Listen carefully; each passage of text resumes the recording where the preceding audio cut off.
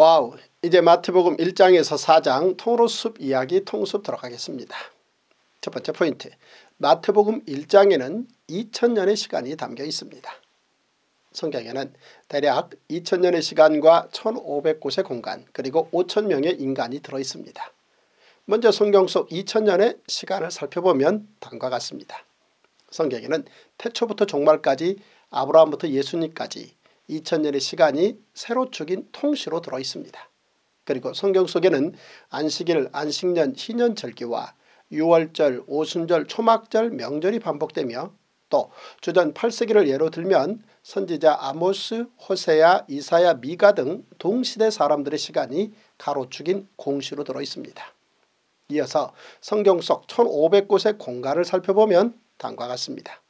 성경 속 공간은 약속의 땅 가나안에서 땅끝까지 하나님의 이름을 두려고 지정한 곳이 기록되어 있으며 하나님의 사람들이 나아갈 방향이 제시되고 있습니다. 계속해서 성경 속 5천명의 인간을 살펴보면 다음과 같습니다. 성경 속 5천명의 인간들 가운데에는 하나님께 순종한 아브라함, 모세, 여호수아, 다윗 그리고 예수님의 제자들과 사도 바울 등이 있습니다. 반면 하나님께 불순종한 가나안을 정탐했던 10명의 정탐꾼들과 여로보암 거짓 선지자 하나냐 그리고 바리세파와 사두개파 사람들 등이 있습니다.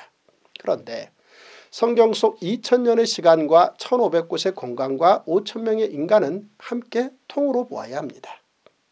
우리는 지금 바로 그 통의 방법으로 66권이자 동시에 한 권인 성경을 하나의 이야기 즉 원스토리, Bible as One Story로 공부하고 있는 중입니다. 그래서 결국에는 성경 한 권이면 충분하다라는 믿음의 고백이 있기를 소망합니다. 우리가 창세기부터 말라기까지 함께 읽고 공부한 구약 39권은 모두 우리 구주 예수 그리스도의 이야기로 향하고 있습니다. 그리고 오늘부터 시작하는 신약은 구약에서 말한 제사장 나라 율법과 선지자를 완전하게 하신 예수 그리스도를 증거하고 있습니다. 이제 넘치는 기쁨과 감사와 감격으로 신약 성경의 첫 번째 책인 마태복음으로 들어가겠습니다. 마태복음 1장에는 아브라함부터 다윗까지 14대, 다윗부터 바벨론 포로기까지 14대, 그리고 바벨론 포로기로부터 예수 그리스도까지 14대, 즉 아브라함에서 예수 그리스도로 이어지는 42대의 계보를 1장으로 정리하고 있습니다. 그런즉 모든 대수가 아브라함부터 다윗까지 14대요. 다윗부터 바벨론으로 사로잡혀 갈 때까지 14대요. 바벨론으로 사로잡혀 간 후부터 그리스도까지 14대더라. 한편 누가복음에서는 예수님의 족보를 55대로 기록해 마태복음과 13대의 차이가 납니다. 이는 마태가 계보의 역사적 구분을 위해 의도적으로 몇몇 이름들을 생략했기 때문입니다. 마태는 이스라엘 역사에서 중요한 터닝포인트를 중심으로 계보를 나눈 것입니다. 그리고 마태는 아브라함과 다윗 그리고 예수님 이렇게 세 명의 이름으로 구약 2000년의 역사를 담아내었습니다. 아브라함과 다윗의 자손 예수 그리스도의 계보라. 그리고 마태가 기록한 예수님의 족보에는 많은 왕들 중 유독 다윗에게만 왕이라는 칭호를 붙여 다윗을 최대한 높여주고 있음을 발견하게 됩니다. 이세는 다윗 왕을 낳으니라. 그리고 또한 마태는 예수님의 족보에 다섯 명의 여인들을 등장시켰습니다. 그런데 그 다섯 명의 여인들인 다말, 라합, 룻 그리고 예수님의 육신의 어머니인 마리아까지는 이름을 기록했으면서 유독 바세바마는 우리아의 아내라고 기록한 것입니다.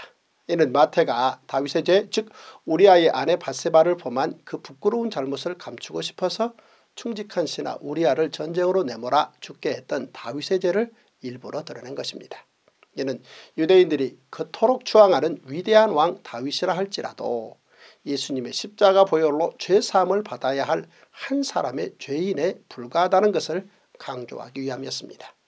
세상 모든 사람들은 어느 누구도 예외 없이 예수님이 필요합니다. 세상의 모든 사람들은 죄인이고 그 모든 죄인은 예수 그리스도의 십자가 보혈의 공로를 통해 하나님께 구원을 받아야 하기 때문입니다. 그리고 마태는 예수님의 족보에 이어 예수님께서 유대 땅 베들레헴에 태어나실 때 동방 박사들과 베들레헴 목자들이 찾아와 아기 예수님의 탄생을 축하하며 기뻐했다고 기록합니다. 구약성경에서 예수님의 탄생을 예언한 기록은 다음과 같습니다. 첫째 하나님께서는 이사야 선지자를 통해 예수님께서 다윗의 자손으로 태어나실 것을 말씀하셨습니다. 이세의 줄기에서 한 싹이 나며 그 뿌리에서 한 가지가 나서 결실할 것이요. 둘째 하나님께서는 이사야 선지자를 통해 예수님께서 동정녀를 통해 태어나실 것을 말씀하셨습니다. 그러므로 주께서 친히 징조를 너희에게 주실 것이라. 보라 처녀가 잉태하여 아들을 낳을 것이요. 그의 이름을 임마누엘이라 하리라. 셋째 하나님께서는 미가 선지자를 통해 예수님께서 베들레헴에서 태어나실 것을 말씀하셨습니다. 베들레헴 에브라다야 너는 유다 족속 중에 작을지라도 이스라엘을 다스릴 자가 내게서 내게로 나올 것이라 그의 근본은 상고에 영원에 있느니라. 넷째 하나님께서는 호세아 선지자를 통해 예수님께서 애굽으로 피하실 것을 말씀하셨습니다. 이스라엘이 어렸을 때 내가 사랑하여 내 아들을 애굽에서 불러냈거늘. 다섯째 하나님께서는 예레미야 선지자를 통해 예수님의 탄생으로 인해 영아 살해 사건이 일어날 것을 말씀하셨습니다. 여호와께서 이와 같이 말씀하시니라. 라마에서 슬퍼하며 통곡하는 소리가 들리니 라헬이 그 자식 때문에 애곡하는 것이라. 그가 자식이 없어져서 위로받기를 거절하는도다. 이 모든 일이 된 것은 주께서 선지자로 하신 말씀을 이루려 하심이니 예수님께서 베들레헴에서 태어나신 후 나사렛에서 자라나십니다. 그리고 이후 세례 요한에게 세례를 받으시고 천국을 전파하시며 드디어 공생애를 시작하십니다. 두 번째 포인트 로마 제국이 여우 헤롯을 유대 분봉왕으로 세운 이유는 그들이 아스루 바벨론 페르시아 헬라 제국의 역사를 공부했기 때문입니다. 로마 제국은 그들이 다스리는 전역의 식민지 수도에 총독과 군단을 파견했습니다. 그런데 유대 지역만은 다른 식민지와 달리 성전이 있는 예루살렘에 총독과 군단을 파견하지 않고 가이사라에 파견했습니다. 이는 로마 제국이 예루살렘 성전을 존중한다는 그들 나름의 최대의 제스처였습니다. 그리고 로마 제국의 황제는 예루살렘의 분봉왕 헤롯이 살게 하면서 헤롯을 통해 유대를 다스렸으며 예루살렘 성전에서 행해지는 유대인들의 모든 종교 행위에 대해 최대한 존중해주는 정책을 펼쳤습니다. 이는 로마 제국이 그동안 유대를 다스렸던 바벨론, 페르시아, 헬라 제국으로부터 배운 역사와 교훈을 유대 통치에 적용한 것이며 유대 민족의 심기를 건드리지 않으면서 동시에 유대 민족으로부터 최대한 많은 세금을 거두고자 함이었습니다. 여기에 또 하나 로마 제국이 에돔 출신의 헤롯을 유대 분봉왕으로 내세운 것은 헤롯의 유대 성전을 다룰 수 있는 그 능력과 그의 정치력이 그만큼 월등했기 때문입니다. 헤롯이 그의 뛰어난 정치력을 보여준 사건의 예로 현직 유대 분봉왕 헤롯 앞에 유대인의 왕이 태어났다는 이슈를 들고 예루살렘에 나타난 동방박사들 덕분이었습니다. 헤로당 때에 예수께서 유대 베들레헴에 나심에 동방으로부터 박사들이 예루살렘에 이르러 말하되 유대인의 왕으로 나신 이가 어디 계시냐 우리가 동방에서 그의 별을 보고 그에게 경배하러 왔노라 하니 헤롯 왕과 온 예루살렘이 듣고 소동한지라. 사실 헤롯은 자기 아들들까지도 죽이며 권력에 대한 무서운 집착을 드러낸 사람입니다. 그런데 그러한 헤롯에게 동방에서 온 박사들이 유대인의 왕의 탄생을 운운했으니 헤롯은 곧바로 유대의 대제사장과 서기관들을 총동원해 유대인의 왕이 베들레헴에서 태어난다는 미가 선지자의 예언을 알아내기까지 합니다. 왕이 모든 대제사장과 백성의 서기관들을 모아 그리스도가 어디서 나겠느냐 물으니 이르되 유대 베들레헴이 오니 이는 선지자로 이렇게 기록된 바 또 유대 땅 베들레헴아 너는 유대 고을 중에서 가장 작지 아니하도다. 내게서 한 다스리는 자가 나와서 내 백성 이스라엘의 목자가 되리라 하였음이니이다. 그리고 베들레헴으로 향하는 동방 박사들을 감쪽같이 속이며 정치인들의 모범이 될 만한 놀라운 멘트를 날립니다. 베들레헴으로 보내며 이르되 가서 악에 대하여 자세히 알아보고 찾거든 내게 고하여 나도 가서 그에게 경배하게 하라.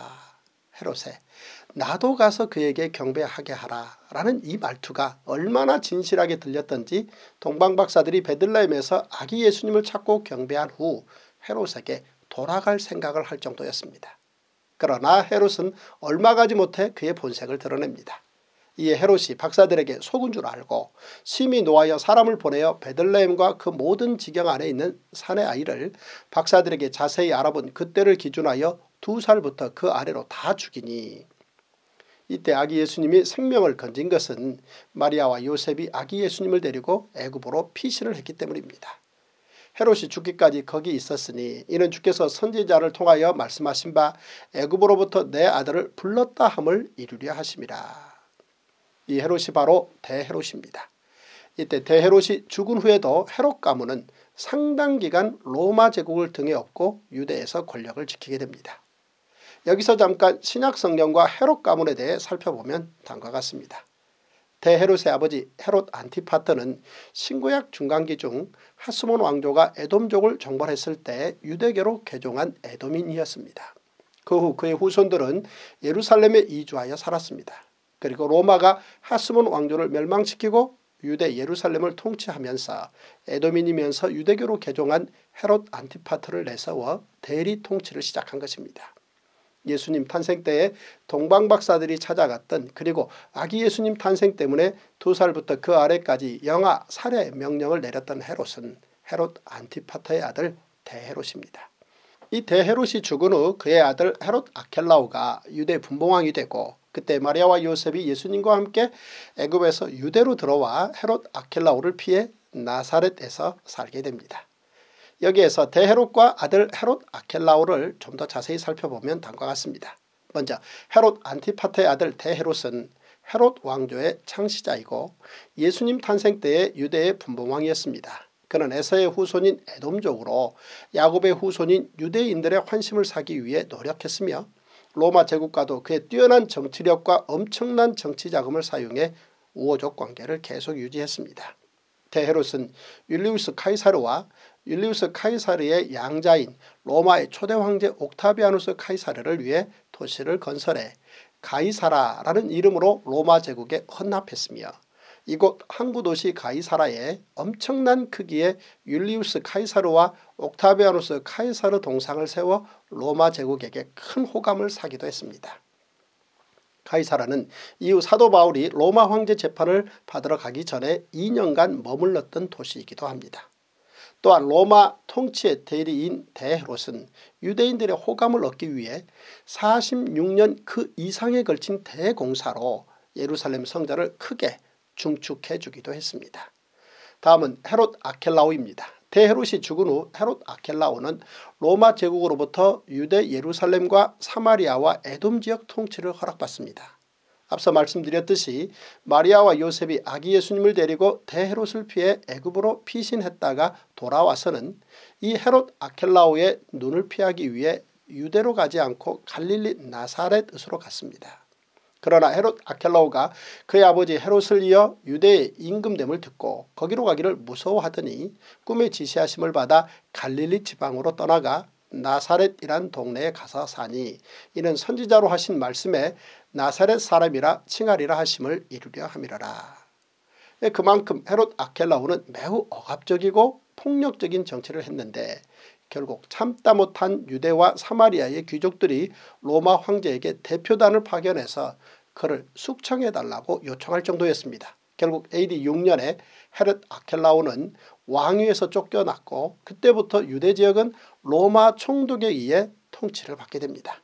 그러나 헤롯 아켈라오가 왕위에서 쫓겨난 후에도 헤롯 가문은 AD 70년 로마 제국이 예루살렘 성전을 파괴하며 유대를 완전히 몰살시킬 때까지 권력을 유지하며 왕가를 존속시켰습니다. 즉 헤롯 가문은 헤롯 빌립 2세가 왕이 되어 가이사라 빌립보를 건설했고 헤롯 안티파스는 예수님의 공생에 3년 동안 권력자였으며 헤롯 아그리빠는 사도행전 12장의 헤롯으로 사도 야고보를 처형한 인물이며 헤롯 아그리빠 2세는 사도 바울 재판 때 바로 그 헤롯입니다. 세 번째 포인트 선지자는 아브라함으로 시작해서 세례 요한으로 끝납니다.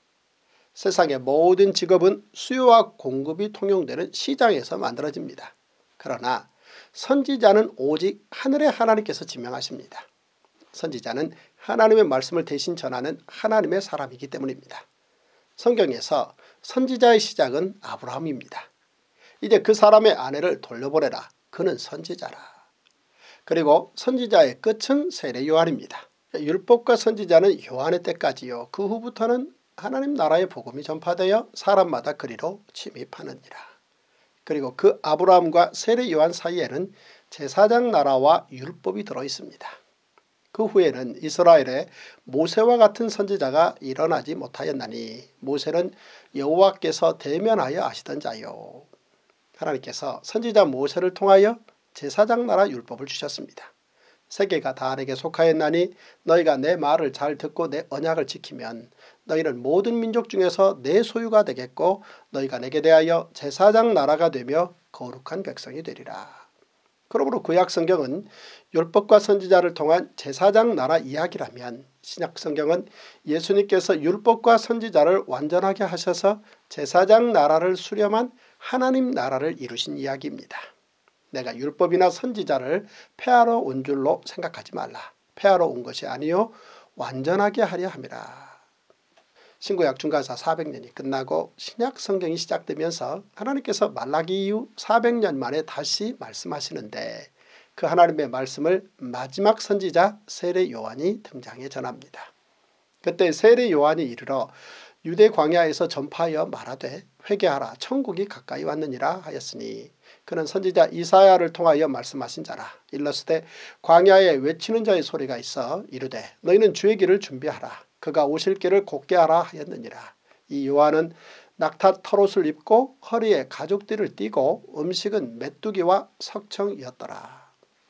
마지막 선지자 세례 요한의 등장은 하나님께서 이사야 선지자를 통해 주신 말씀이 마침내 성취된 것입니다. 외치는 자의 소리여 이르되 너희는 광야에서 여호와의 길을 예비하라. 사막에서 우리 하나님의 대로를 평탄하게 하라. 선지자 세례 요한은 회개하라 천국이 가까웠느니라 라며 하나님의 말씀을 전합니다. 세례 요한이 외친 회개하라는 마음을 하나님께로 돌이키라는 하나님의 말씀입니다. 이는 하나님께서 400년간의 침묵 이전에 말라기 선지자를 통해 하셨던 말씀으로부터 이어지는 말씀입니다. 그가 아버지의 마음을 자녀에게로 돌이키게 하고 자녀들의 마음을 그들의 아버지에게로 돌이키게 하리라. 돌이키지 아니하면 두렵건대 내가 와서 저주로 그 땅을 칠까 하노라 하시니라. 이처럼 예수님의 길을 예비한 세례 요한이 선포한 메시지는 바로 회개하라였습니다. 회개할 수 있다는 것은 하나님께서 우리에게 주신 큰 복입니다. 하나님께서 우리에게 회개하라고 하시는 이유는 용서의 길을 여시기 위함이기 때문입니다. 이때 세례 요한은 회개를 촉구하며 유대인들에게 세례를 베풀었습니다. 이때 예루살렘과 온 유대와 요단강 사방에서 다 그에게 나와 자기들의 죄를 자복하고 요단강에서 그에게 세례를 받더니 유대인들이 이처럼 세례 요한의 외침에 귀를 기울이고 회개하며 세례를 받은 이유는 말라기 이후 400년 만에 듣는 선지자의 외침이었기 때문이고 혹자는 세례 요한을 메시아로 생각했기 때문입니다. 백성들이 바라고 기다림으로 모든 사람들이 요한을 혹 그리스도신가 심중에 생각하니 선지자 세례 요한의 외침 중에 또 하나는 당시 종교 지도자들이라 할 수 있는 바리새인들과 사두개인들을 향한 무서운 질책으로 일명 도끼설교라 일컫는 센 말씀이었습니다. 요한이 말은 바리새인들과 사두개인들이 세례 베푸는 대로 오는 것을 보고 이르되 독사의 자식들아 누가 너희를 가르쳐 임박한 진노를 피하라 하더냐 그러므로 회개에 합당한 열매를 맺고 속으로 아브라함이 우리 조상이라고 생각하지 말라. 내가 너에게 이르노니 하나님의 능히 이 돌들로도 아브라함의 자손이 되게 하시리라. 이미 도끼가 나무 뿌리에 놓였으니 좋은 열매를 맺지 아니하는 나무마다 찍혀 불에 던져지리라. 그리고 세례 요한의 마지막 선지자로서의 사명인 메시아의 사역을 준비합니다. 나는 너희로 회개하게 하기 위하여 물로 세례를 베풀거니와 내 뒤에 오시는 이는 나보다 능력이 많으시니 나는 그의 신을 들기도 감당하지 못하겠노라. 그는 성령과 불로 너희에게 세례를 베푸실 것이요 손에 키를 들고 자기의 타작마당을 정하게 하사 알곡은 모아 고가리 들이고 쭉정이는 꺼지지 않는 불에 태우시리라. 선지자 세례 요한이 전한 메시아는 성령과 불로 세례를 베푸시고 심판의 주로 임하신다는 것입니다. 네 번째 포인트 예수님께서는 구약 성경에 기록된 하나님의 말씀으로 사탄의 시험을 이기십니다. 세례 요한의 예언대로 메시아로 이 땅에 오신 예수 그리스도는 본격적인 공생애를 준비하심에 앞서 끝까지 가져갈 기초를 놓으십니다. 그 핵심은 다름 아닌 하나님의 말씀입니다. 예수님께서는 공생애를 앞두시고 성령에게 이끌리어 즉 하나님의 계획과 섭리 가운데 성령이 충만한 상태에서 사탄에게 시험을 받으러 광야로 가셔서 40일을 금식하십니다. 그때 예수께서 성령에게 이끌리어 마귀에게 시험을 받으러 광야로 가사 40일을 밤낮으로 금식하신 후에 줄이신지라. 이때 예수님께서 당하신 시험은 첫째 경제적 메시아가 되라는 것 둘째 신비한 메시아가 되라는 것 셋째 정치적 메시아가 되라는 사탄의 유혹이었습니다. 그런데 성령이 충만한 예수님께서는 사탄의 이 모든 시험을 구약 성경 신명기 기록으로 이기십니다. 즉 is written 기록된 바가 중요합니다. 모세를 통해 주신 기록된 말씀들입니다. 너를 낮추시며 너를 줄이게 하시며 또 너도 알지 못하며 내 조상들도 알지 못하던 만나를 내게 먹이신 것은 사람이 떡으로만 사는 것이 아니요 여호와 입에서 나오는 모든 말씀으로 사는 줄을 내가 알게 하려 하심이니라. 너희가 마사에서 시험한 것 같이 너희의 하나님 여호와를 시험하지 말고 내 하나님 여호와를 경외하며 그를 섬기며 그의 이름으로 맹세할 것이니라. 이처럼 사탄의 시험을 이기는 길은 다른 어떤 능력이 아닌 오직 기록된 하나님의 말씀임을 기억해야 합니다. 다섯 번째 포인트 예수님께서는 선지자 이사야의 기록대로 갈릴리 해변에서 사역을 시작하십니다. 성령이 충만하신 예수님께서는 사탄의 시험을 구약 성경에 기록된 하나님의 말씀으로 모두 이기시고 드디어 공생의 사역을 시작하십니다. 예수님의 사역은 천국 즉 하나님 나라를 전파하시는 일이었습니다. 이때부터 예수께서 비로소 전파하여 이르시되 회개하라 천국이 가까이 왔느니라 하시더라. 여기에서 이때부터는 예수님의 공생의 시작 시점으로 세례 요한이 잡힌 후였습니다. 예수께서 요한이 잡혔음을 들으시고 갈릴리로 물러가셨다가 나사렛을 떠나 수불론과 납달리 지경 해변에 있는 가버나움에 가서 사시니 이는 선지자 이사야를 통하여 하신 말씀을 이루려 하심이라 일렀으되 이때 세례 요한이 옥에 갇히게 된 것은 헤로디아의 일 때문이었습니다. 저는 헤롯이 그 동생 빌립의 아내 헤로디아의 일로 요한을 잡아 결박하여 옥에 가두었으니 예수님께서 세례 요한의 투옥 소식을 듣고 갈릴리로 가신 것은 예루살렘의 무리들과의 충돌을 피하신 이유도 있겠지만 이사야 선지자를 통한 하나님의 말씀 갈릴리 땅에 복음의 빛을 비추는 말씀을 이루시기 위함이었습니다. 전에 고통받던 자들에게는 흑암이 없으리로다. 옛적에는 여호와께서 스불론 땅과 납달리 땅이 멸시를 당하게 하셨더니 후에는 해변길과 요단 저쪽 이방의 갈릴리를 영화롭게 하셨느니라. 흑암에 행하던 백성이 큰 빛을 보고 사망의 그늘진 땅에 거주하던 자에게 빛이 비치도다. 이렇게 갈릴리로 가신 예수님께서는 그곳에서 제자들을 부르기 시작하십니다. 갈릴리 해변에 다니시다가 두 형제 곧 베드로로 하는 시몬과 그의 형제 안드레가 바다에 금을 던지는 것을 보시니 그들은 어부라. 말씀하시되 나를 따라오라. 내가 너희를 사람을 낚는 어부가 되게 하리라 하시니 그들이 곧 그물을 버려두고 예수를 따르니라.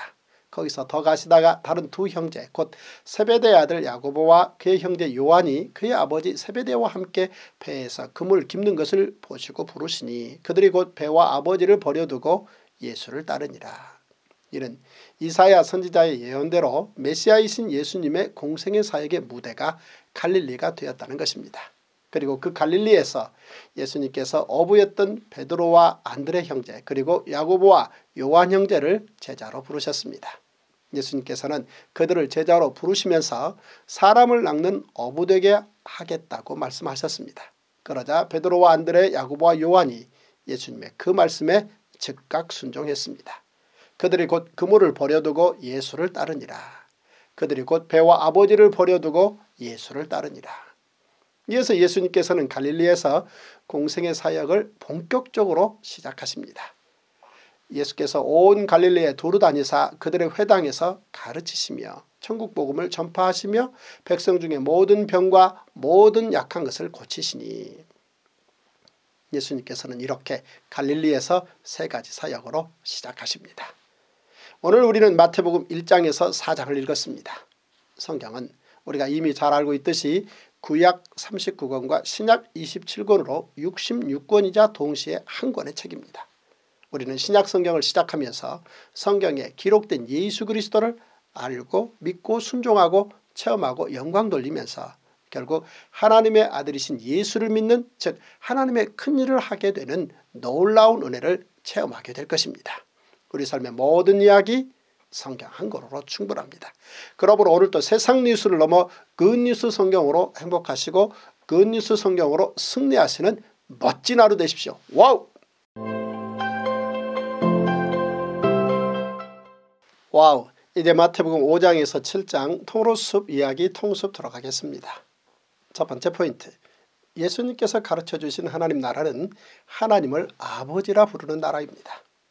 드디어 예수님께서 공생애 사역을 시작하시며 사람들을 가르치십니다. 예수께서 무리를 보시고 산에 올라가 앉으시니 제자들이 나아온지라 입을 열어 가르쳐 이르시되 구약 시대에는 하나님께서 시내산에서 이스라엘 백성들에게 모세를 통해 제사장 나라 율법을 주실 때에 이스라엘 백성들이 하나님께 가까이 나아가지 못했습니다. 하나님께서 시내산에서 모세에게 이렇게 말씀하십니다. 준비하게 하여 셋째 날을 기다리게 하라. 이는 셋째 날에 나 여호와가 온 백성의 목전에서 시내산에 강림할 것이니 너는 백성을 위하여 주의 경계를 정하고 이르기를 너희는 삼가 산에 오르거나 그 경계를 침범하지 말지니 산을 침범하는 자는 반드시 죽임을 당할 것이라. 그런데 신약시대에는 예수님께서 산상수훈을 말씀하실 때 많은 사람들이 예수님 곁으로 다가가 직접 듣게 됩니다. 이제 예수님께서 팔복의 말씀으로 산상수훈을 시작하십니다. 심령이 가난한 자는 복이 있나니 천국이 그들의 것이며 애통하는 자는 복이 있나니 그들이 위로를 받을 것이며 원유한 자는 복이 있나니 그들이 땅을 기업으로 받을 것이며 의에 줄이고 목마른 자는 복이 있나니 그들이 배부를 것이며 극률이 여기는 자는 복이 있나니 그들이 극률이 여김을 받을 것이며 마음이 청결한 자는 복이 있나니 그들이 하나님을 볼 것이며 화평하게 하는 자는 복이 있나니 그들이 하나님의 아들이라 일컬음을 받을 것이며 을을 위하여 박해를 받는 자는 복이 있나니 천국이 그들의 것입니다. 예수님께서는 심령이 가난한 자 의를 위하여 박해를 받은 자는 천국을 가지게 될 것이라고 말씀하십니다. 이는 하나님을 전적으로 의지할 때 가능한 자세임을 가르쳐 주신 것입니다. 그리고 예수님께서 말씀하신 의는 곧 완전한 의이신 예수 그리스도를 의미합니다. 나로 말미암아 너희를 욕하고 박해하고 거짓으로 너희를 거슬러 모든 악한 말을 할 때에는 너희에게 복이 있나니 기뻐하고 즐거워하라. 하늘에서 너희의 상이 큽니다. 너희 전에 있던 선지자들도 이같이 박해하였느니라. 이어서 예수님께서는 하나님 나라 백성의 자세에 대해 가르쳐 주십니다. 즉 세상의 소금과 빛의 역할입니다. 너희는 세상의 소금이니 소금이 만일 그 맛을 잃으면 무엇으로 짜게 하리요. 후에는 아무 쓸데없어 다만 밖에 버려져 사람에게 밟힐 뿐이니라. 너희는 세상의 빛이라 산 위에 있는 동네가 숨겨지지 못할 것이요 사람이 등불을 켜서 말 아래에 두지 아니하고 등경 위에 두나니 이러므로 집안 모든 사람에게 비추느니라. 이같이 너희 빛이 사람 앞에 비치게 하여 그들로 너희 착한 행실을 보고 하늘에 계신 너희 아버지께 영광을 돌리게 하라. 이제 예수님께서 본격적으로 하나님을 아버지라 부르도록 가르쳐 주십니다. 예수님께서는 산상수훈에서 하나님을 아버지라 17번이나 표현하시며 하나님께서 우리의 아버지가 되심을 가르쳐주고 계십니다. 하나님 아버지에 대한 구약성경과 신약성경에서의 가르침은 다음과 같습니다. 주는 우리 아버지이시니이다. 우리는 진흙이요 주는 토기장이시니 우리는 다 주의 손으로 지으신 것이니이다. 그가 아버지의 마음을 자녀에게로 돌이키게 하고 자녀들의 마음을 그들의 아버지에게로 돌이키게 하리라. 하늘에 계신 너희 아버지의 아들이 되리니 하늘에 계신 너희 아버지의 온전하심과 같이 너희도 온전하라. 너는 기도할 때 내 골방에 들어가 문을 닫고 은밀한 중에 계신 내 아버지께 기도하라. 은밀한 중에 보시는 내 아버지께서 갚으시리라. 하늘에 계신 우리 아버지여 이름이 거룩히 여김을 받으시오며 이렇게 예수님께서 가르쳐 주신 하나님 나라는 하나님을 아버지라 부르는 나라입니다. 두 번째 포인트 예수님께서는 하나님의 마음으로 제사장 나라 율법을 해석하며 순종해야 함을 가르쳐 주십니다. 율법과 선지자를 완전하게 하신 예수님께서 가르쳐 주시는 말씀은 서기관과 바리새인들이 가르쳐 주는 율법 해석과 달랐습니다. 예수님은 율법 조항 그대로의 해석이 아닌 율법을 주신 하나님의 마음을 따라 그 하나님의 말씀에 순종해야 함을 가르쳐 주신 것입니다. 예수님께서는 너희가 들었으나 나는 너희에게 이르노니 라고 말씀하시며 다음과 같은 여섯 가지에 대해 바리새인들과 서기관들과 다른 새로운 해석을 말씀해 주십니다. 첫째, 살인에 대한 말씀입니다. 옛사람에게 말한 바 살인하지 말라. 누구든지 살인하면 심판을 받게 되리라 하였다는 것을 너희가 들었으나 나는 너희에게 이르노니 형제에게 노하는 자마다 심판을 받게 되고 형제를 대하여 나가라 하는 자는 공회에 잡혀가게 되고 미련한 놈이라 하는 자는 지옥불에 들어가게 되리라. 그러므로 예물을 재단에 드리려다가 거기서 내 형제에게 원망 들을 만한 일이 있는 것이 생각나거든 예물을 재단 앞에 두고 먼저 가서 형제와 화목하고 그 후에 와서 예물을 드리라. 살인하지 말라는 제사장 나라 율법 10계명의 제6계명입니다. 사람이 그 이웃을 고의로 죽였으면 너는 그를 내 재단에서라도 잡아내려 죽일지니라. 이 율법에 대해 예수님께서는 마음의 분노를 가지고 남을 대하는 자는 살인한 자와 다름없다고 가르쳐 주십니다. 그러면서 이 율법을 어겼을 때의 처벌에 대해 말씀하신 것입니다. 마음에 노하는 자는 마을 법정에서 처벌을 받고 나가라 하는 자는 공회에서 처벌을 받으며 미련한 놈이라 하는 자는 지옥불에 들어가게 되리라는 것입니다. 그러므로 예수님께서는 형제에 대한 죄가 생각나거든 제사에 앞서 먼저 화목하고 라는 것입니다. 둘째 간음에 대한 말씀입니다. 또 간음하지 말라 하였다는 것을 너희가 들었으나 간음하지 말라는 10계명의 7계명입니다. 누구든지 남의 아내와 간음하는 자 곧 그의 이웃의 아내와 간음하는 자는 그 간부와 음부를 반드시 죽일지니라. 이 율법에 대해 예수님께서 다시 해석하여 말씀해 주십니다. 나는 너희에게 이르노니 음욕을 품고 여자를 보는 자마다 마음에 이미 간음하였느니라. 그러므로 죄를 저지를 만한 단초가 되는 것 유혹의 싹을 미리 없애는 것이 나음을 다음의 예로 설명해 주십니다. 만일 내 오른 눈이 너로 실족하게 하거든 빼어 내버리라. 내 백조 중 하나가 없어지고 온몸이 지옥에 던져지지 않는 것이 유익하며 셋째 이혼에 대한 말씀입니다. 누구든지 아내를 버리려거든 이혼 증서를 줄 것이라 하였으나 제사장 나라 규정에는 사람이 아내를 맞이하여 데려온 후에 그에게 수치되는 일이 있음을 발견하고 그를 기뻐하지 아니하면 이혼 증서를 써서 그의 손에 주고 그를 자기 집에서 내보낼 것이요입니다. 이 율법에 대해 예수님께서 다시 해석하여 말씀해 주십니다. 나는 너희에게 이르노니 누구든지 음행한 이유 없이 아내를 버리면 이는 그로 간음하게 하며 또 누구든지 버림받은 여자에게 장가드는 자도 간음함이니라. 넷째 맹세에 대한 말씀입니다. 또 옛사람에게 말한 바 헛맹세를 하지 말고 내 맹세한 것을 주께 지키라 하였다는 것을 너희가 들었으나 제사장 나라 규정에는 너희는 내 이름으로 거짓 맹세함으로 내 하나님의 이름을 욕되게 하지 말라. 나는 여호와이니라입니다. 이 율법에 대해 예수님께서 다시 해석하여 말씀해 주십니다.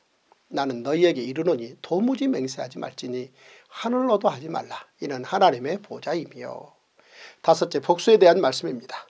또 눈은 눈으로 이는 이로 갚으라 하였다는 것을 너희가 들었으나 제사장 나라 규정에는 그러나 다른 해가 있으면 갚되 생명은 생명으로 눈은 눈으로 이는 이로 손은 손으로 발은 발로 된 것은 된 것으로 상하게 한 것은 상함으로 때린 것은 때림으로 갚을지니라.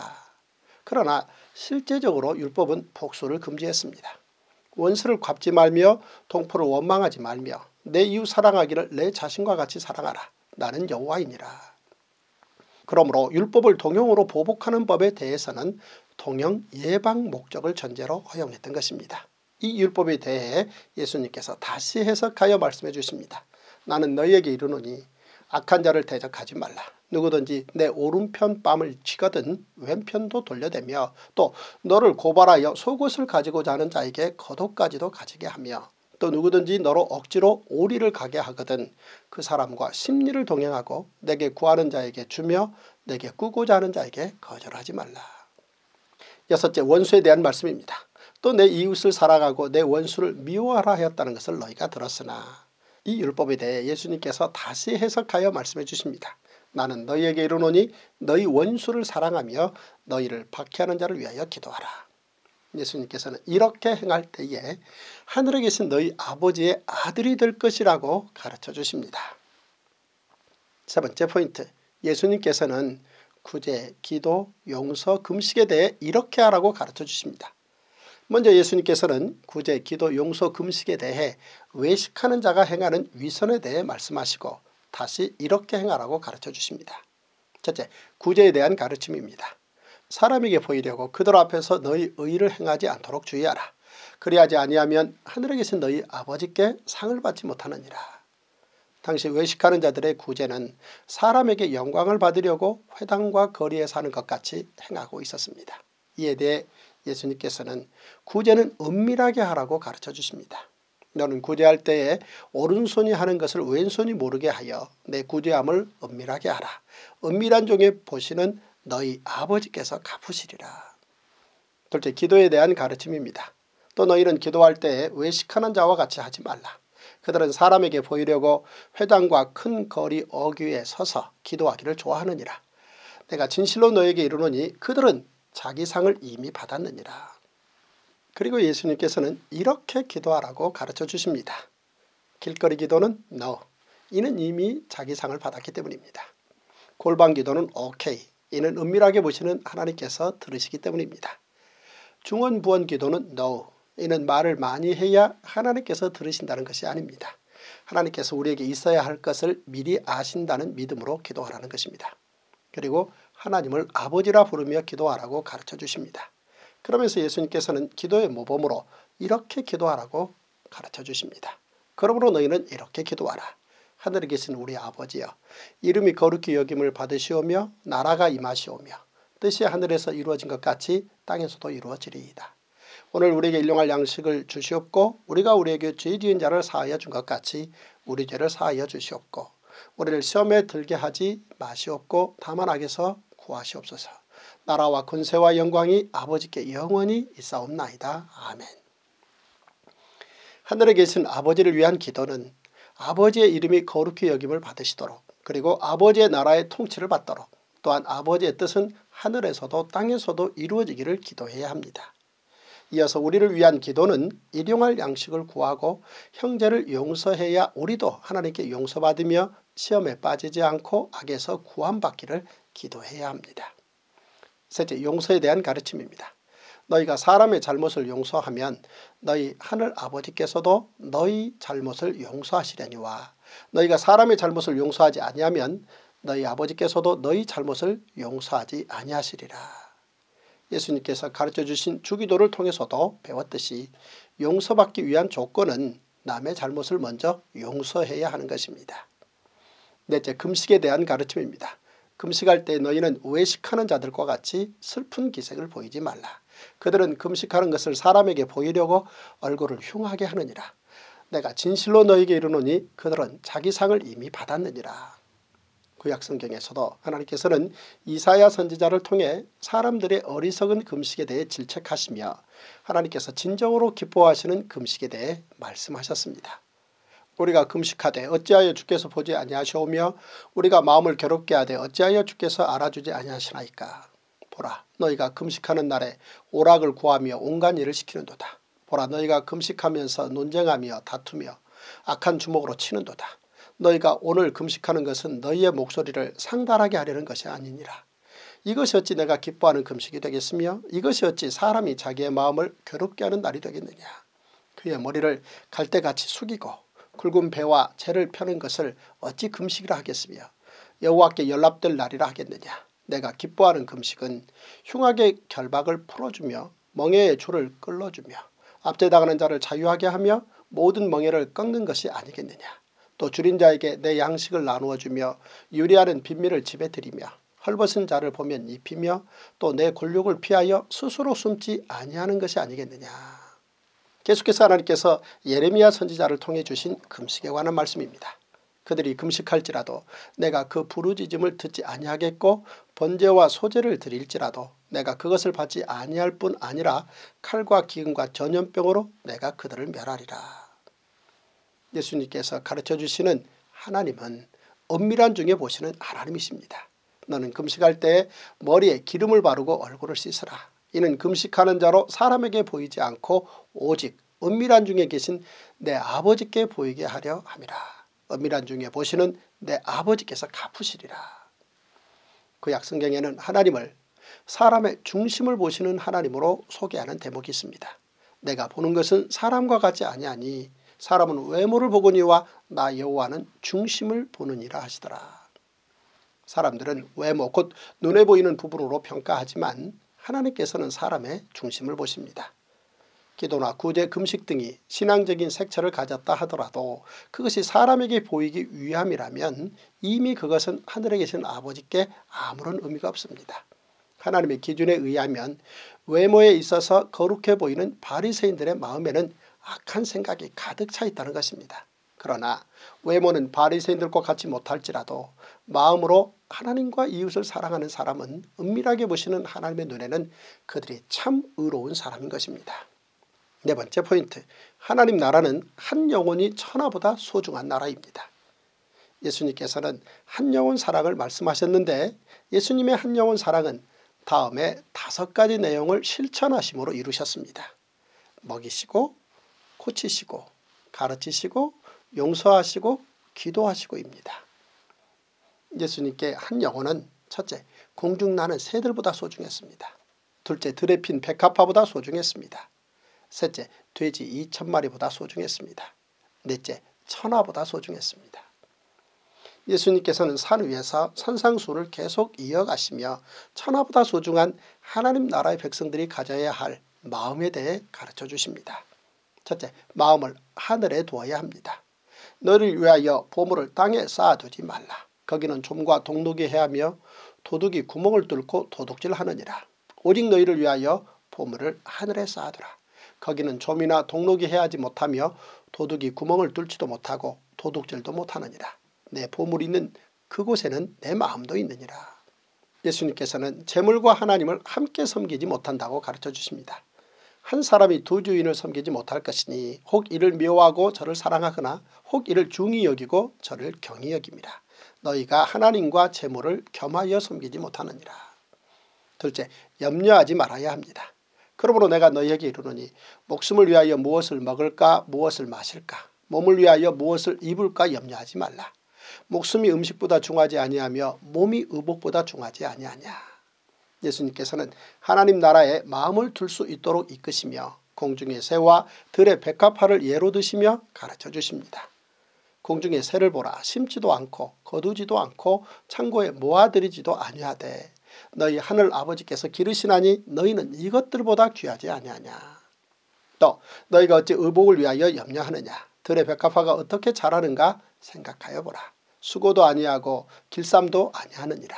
그러나 내가 너희에게 말하노니 솔로몬의 모든 영광으로도 입은 것이 이 꽃 하나만 갖지 못하였느니라.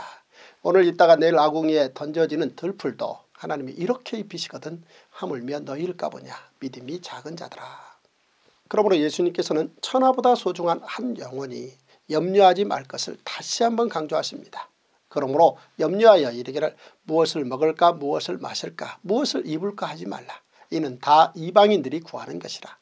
너희 하늘 아버지께서 이 모든 것이 너희에게 있어야 할 줄을 아시느니라. 그런즉 너희는 먼저 그의 나라와 그의 의를 구하라. 그리하면 이 모든 것을 너에게 더하시리라. 그러므로 내일 일을 위하여 염려하지 말라. 내일 일은 내일이 염려할 것이요 한날의 괴로움은 그날로 족하니라. 예수님의 이 가르침은 성경 전체 숲의 요약이자 핵심입니다. 그런즉 너희는 먼저 그의 나라와 그의 의를 구하라. 그리하면 이 모든 것을 너희에게 더하시리라. 다섯 번째 포인트 예수님께서는 하나님 나라 백성이 하나님과 이웃과의 관계에서 실천해야 할 것을 가르쳐 주십니다. 이제 예수님께서 가르쳐 주신 하나님과 이웃과의 관계에서 실천해야 할 내용은 다음과 같습니다. 첫째, 비판하지 말라고 가르쳐 주십니다. 비판을 받지 아니하려거든 비판하지 말라. 너희가 비판하는 그 비판으로 너희가 비판을 받을 것이요 너희가 헤아리는 그 헤아림으로 너희가 헤아림을 받을 것이니라. 예수님께서는 이 가르침을 위해 티와 들보의 비유를 들어 말씀하십니다. 외식하는 자여 먼저 내 눈 속에서 들보를 빼어라. 그 후에야 밝히 보고 형제의 눈 속에서 티를 빼리라. 둘째 기도의 자세에 대해서 구하고 찾고 문을 두드리라고 가르쳐 주십니다.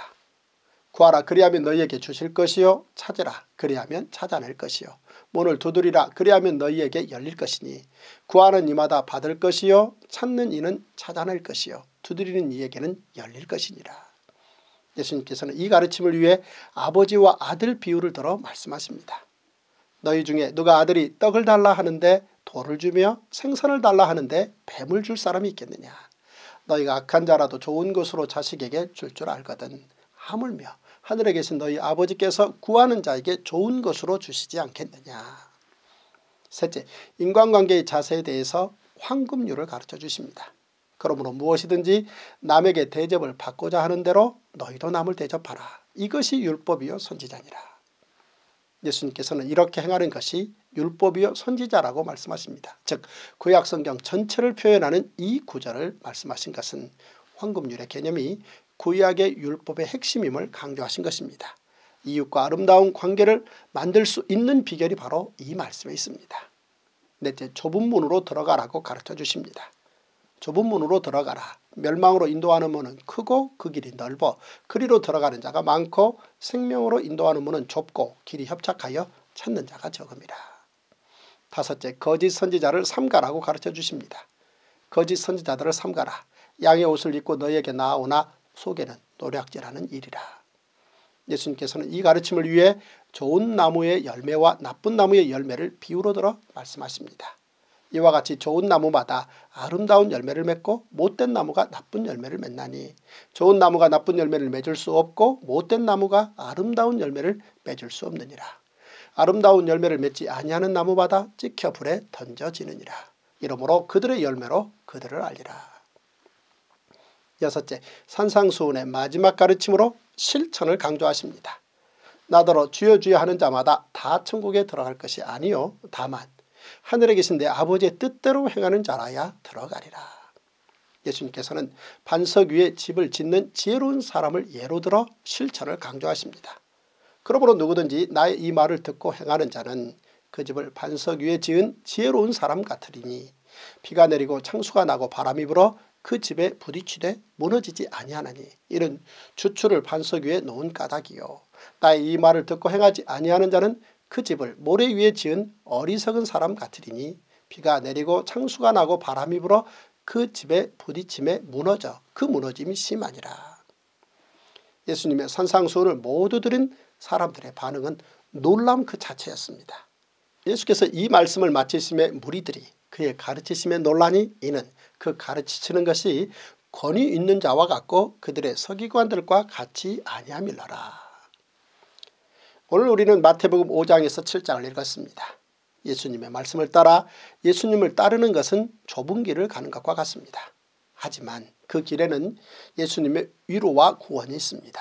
예수님께서 이 땅에 오시어 십자가와 부활의 길을 향해 나아가시면서 바로 그 길로 우리를 부르고 계신 것입니다. 하나님께서 우리에게 늘 좋은 곳으로 주시고 싶은 그 마음을 헤아린다면 좁은 길이 생명으로 이어지는 좋은 길임을 알고 믿을 수 있습니다. 예수님께서는 오늘도 바로 그 좁은 길, 생명의 길, 좋은 길로 우리를 부르고 계신 것입니다. 우리 삶의 모든 이야기 성경 한 권으로 충분합니다. 그러므로 오늘도 세상 뉴스를 넘어 good news 성경으로 행복하시고 good news 성경으로 승리하시는 멋진 하루 되십시오. 와우! 와우! 이제 마태복음 8장에서 10장 통으로 숲 이야기 통숲 들어가겠습니다. 첫 번째 포인트 예수님께서는 나병 환자를 고쳐주시고 제사장 나라의 정결법대로 제사장에게 보내십니다. 마태는 예수님의 사역을 주제별로 묶어서 기록했습니다. 예수님의 사역은 크게 다섯 가지로 정리할 수 있습니다. 즉 먹이시고 고치시고 가르치시고 용서하시고 기도하시는 일이었습니다. 먼저 고치시는 예수님의 이야기가 시작됩니다. 예수님께서는 공생의 3년 동안 수많은 환자들을 고쳐주셨습니다. 그리고 그들에게 늘 다른 사람들에게는 말하지 말라고 말씀하셨습니다. 이에 예수께서 그들의 눈을 만지시며 이르시되 너희 믿음대로 되라 하시니 그 눈들이 밝아진지라. 예수께서 엄히 경고하시되 삼가 아무에게도 알리지 말라. 그런데 예수님께서 나병 환자를 고치셨을 경우에는 사람들에게는 말하지 말되 반드시 제사장에게 가서 보이라고 말씀하셨습니다. 한 나병 환자가 나와 절하며 이르되 주여 원하시면 저를 깨끗하게 하실 수 있나이다 하거를 예수께서 손을 내밀어 그에게 대시며 이르시되 내가 원하노니 깨끗함을 받으라 하시니 즉시 그의 나병이 깨끗하여진지라. 그런데 예수님께서는 이렇게 나병 환자를 고쳐주신 후에 제사장 나라 율법대로 제사장에게 보내어 그가 제사장에게 화기를 받고 다시 사회로 복귀할 수 있도록 하십니다. 예수께서 이르시되 삼가 아무에게도 이르지 말고 다만 가서 제사장에게 내 몸을 보이고 모세가 명한 예물을 드려 그들에게 입증하라 하시니라. 이렇게 예수님께서는 나병 환자를 고치시고 반드시 제사장을 찾아가 몸을 보이고 모세가 명한 예물을 드리게 했습니다. 예수님께서 행하신 이 나병 환자에 대한 율법은 레위기에 기록된 제사장 나라 율법입니다. 나병 환자가 정결하게 되는 날의 규례는 이러하니 곧 그 사람을 제사장에게로 데려갈 것이요 제사장은 진영에서 나가 진찰할지니 그 환자에게 있던 나병 환부가 나았으면 제사장은 그 정결함을 받은 자를 위하여 명령하여 살아있는 정결한 새 두 마리와 백향목과 홍색실과 우술초를 가져오게 하고 그렇다면 나병 환자가 완치된 후 제사장을 찾아가서 정결 의식을 행하는 이 법은 언제까지 유효했을까요? 바로 레위기 14장에 나오는 나병 환자법에 대한 기록 순간부터 예수님께서 십자가 위에서 다 이루었다라고 말씀하신 순간까지만 유효한 법입니다.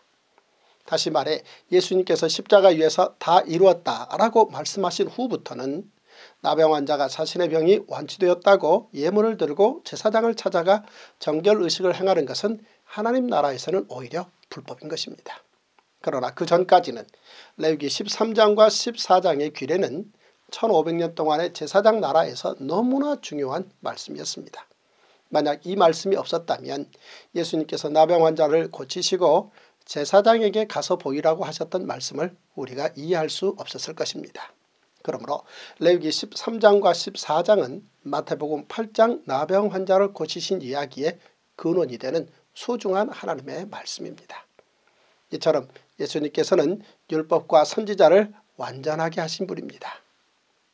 두 번째 포인트 예수님께서는 직접 손으로 병자들을 만져주시며 고쳐주셨습니다. 고치시는 예수님의 이야기가 계속됩니다.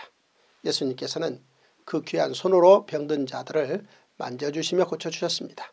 말씀만으로도 고칠 수 있는 능력이 우리 예수님께 있습니다. 하지만 예수님께서는 말씀의 능력을 뛰어넘어 자신의 손을 부지런히 사용하시며 병든 자 약한 자들을 어루만지시고 고쳐주셨습니다. 해질 무렵에 사람들이 온갖 병자들을 데리고 나오매 예수께서 일일이 그 위에 손을 얹으사 고치시니 예수님께서 직접 손으로 고쳐주신 병자들은 다음과 같습니다. 첫째 나병 환자를 고쳐주셨습니다. 예수께서 손을 내밀어 그에게 대시며 이르시되 내가 원하노니 깨끗함을 받으라 하시니 즉시 그의 나병이 깨끗하여진지라. 둘째 베드로의 장모를 고쳐주셨습니다. 예수께서 베드로의 집에 들어가사 그의 장모가 열병으로 알아 누운 것을 보시고 그의 손을 만지시니 열병이 떠나가고 여인이 일어나서 예수께 수종들더라. 셋째 회당장 야이로의 딸을 고쳐주셨습니다. 무리를 내보낸 후에 예수께서 들어가사 소녀의 손을 잡으심에 일어나는지라. 넷째 귀 먹고 말 더듬는 사람을 고쳐주셨습니다. 예수께서 그 사람을 따로 데리고 무리를 떠나사 손가락을 그의 양귀에 넣고 침을 뱉어 그의 혀에 손을 대시며 다섯째 맹인을 고쳐주셨습니다. 예수께서 맹인의 손을 붙잡으시고 마을 밖으로 데리고 나가사 눈에 침을 뱉으시며 그에게 안수하시고 무엇이 보이느냐 물으시니 이후 예수님은 우리 모두를 고치시기 위해 십자가 위에서 그 손에 못 박히십니다. 다른 제자들이 그에게 이르되 우리가 주를 보았노라 하니 도마가 이르되 내가 그의 손에 못자국을 보며 내 손가락을 그 못자국에 넣으며 내 손을 그 옆구리에 넣어보지 않고는 믿지 아니하겠노라 하니라. 예수께서 도마에게 말씀하십니다. 도마에게 이르시되 내 손가락을 이리 내밀어 내 손을 보고 내 손을 내밀어 내 옆구리에 넣어보라. 그리하여 믿음 없는 자가 되지 말고 믿는 자가 되라. 한편 예수님께서는 병자를 만나보시지도 않고 오직 말씀만으로 병을 고쳐주신 적도 많습니다. 바로 백부장의 하인을 고쳐주신 것인데 당시 백부장의 믿음은 보통 사람들이 상상할 수 없는 정말 월등한 믿음이었습니다. 백부장이 대답하여 이르되 주여 내 집에 들어오심을 나는 감당하지 못하겠사오니 다만 말씀으로만 하옵소서. 그러면 내 하인이 낫겠사옵나이다. 나도 남의 수하에 있는 사람이요 내 아래에도 군사가 있으니 이더러 가라 하면 가고 저더러 오라 하면 오고 내 정도로 이것을 하라 하면 하나이다. 예수께서 들으시고 놀랍게 여겨 따르는 자들에게 이르시되 내가 진실로 너희에게 이르노니 이스라엘 중 아무에게서도 이만한 믿음을 보지 못하였노라. 예수님께서는 이 백부장의 놀라운 믿음을 보시고 모든 민족을 향한 구원에 대해 말씀하십니다. 너희에게 이르노니 동서로부터 많은 사람이 이르러 아브라함과 이삭과 야곱과 함께 천국에 앉으려니와 그 나라의 본 자손들은 바깥 어두운 데 쫓겨나 거기서 울며 이를 갈게 되리라. 이 외에도 예수님께서는 귀신 들린 자들을 비롯해 수많은 병자들을 고쳐주셨습니다. 저물매 사람들이 귀신 들린 자를 많이 데리고 예수께 오거를 예수께서 말씀으로 귀신들을 쫓아내시고 병든 자들을 다 고치시니 이는 선지자 이사야를 통하여 하신 말씀에 우리의 연약한 것을 친히 담당하시고 병을 짊어지셨도다 함을 이루려 하심이더라. 마태는 이처럼 예수님께서 귀신 들린 자들을 고친 것이 우리의 연약한 것을 친히 담당하신 것이라는 이사야 선지자의 예언 성취로 기록합니다. 그는 실로 우리의 질고를 지고 우리의 슬픔을 당하였거늘 우리는 생각하기를 그는 징벌을 받아 하나님께 맞으며 고난을 당한다 하였노라. 세 번째 포인트 사복음서는 하나님께서 호세아 선지자를 통해 말씀하신 하나님의 극률이 불붙는 사랑 이야기입니다. 예수님께서는 계속해서 이적과 기사를 베푸시는 중에 중풍병자를 고쳐주신 일이 있었습니다. 침상에 누운 중풍병자를 사람들이 데리고 오거늘 예수께서 그들의 믿음을 보시고 중풍병자에게 이르시되 작은 자야 안심하라 내 죄 사함을 받았느니라. 여기에서 그들의 믿음을 보시고 이 부분은 예수님께서 항상 강조하시는 말씀으로 예수님의 관심이 다름 아닌 믿음에 있다는 것을 보여주신 것입니다. 그리고 예수님께서 중풍병자를 고쳐주시며 그에게 죄사함을 받았느니라 라고 말씀하시며 죄사함을 선언하시는데 이를 두고 어떤 서기관이 이를 신성모독으로 받아들였다고 마태는 기록하고 있습니다. 어떤 서기관들이 속으로 이르되 이 사람이 신성을 모독하도다.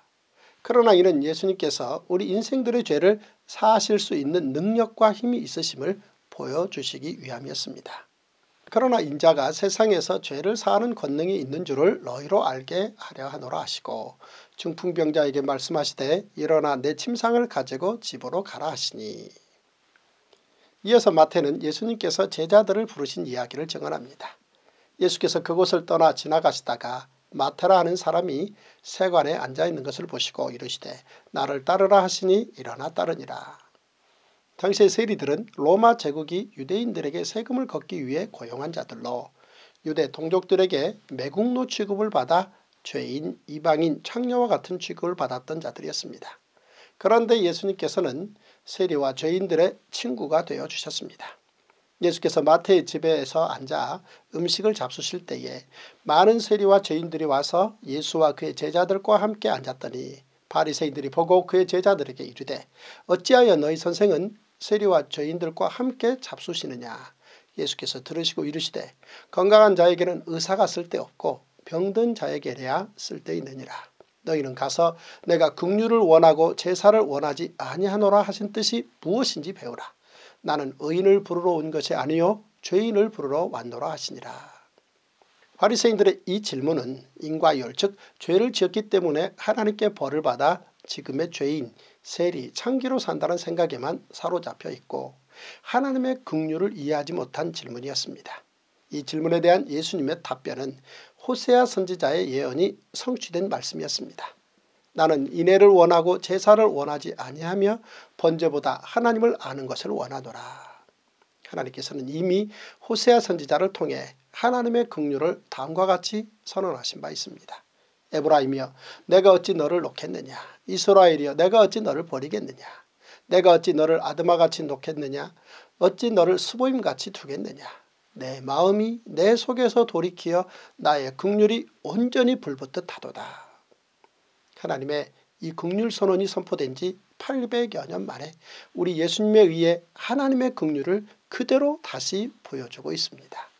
그러므로 우리 예수님에 관한 기록인 사복음서는 하나님의 극률이 불붙은 진한 사랑 이야기를 할 수 있습니다.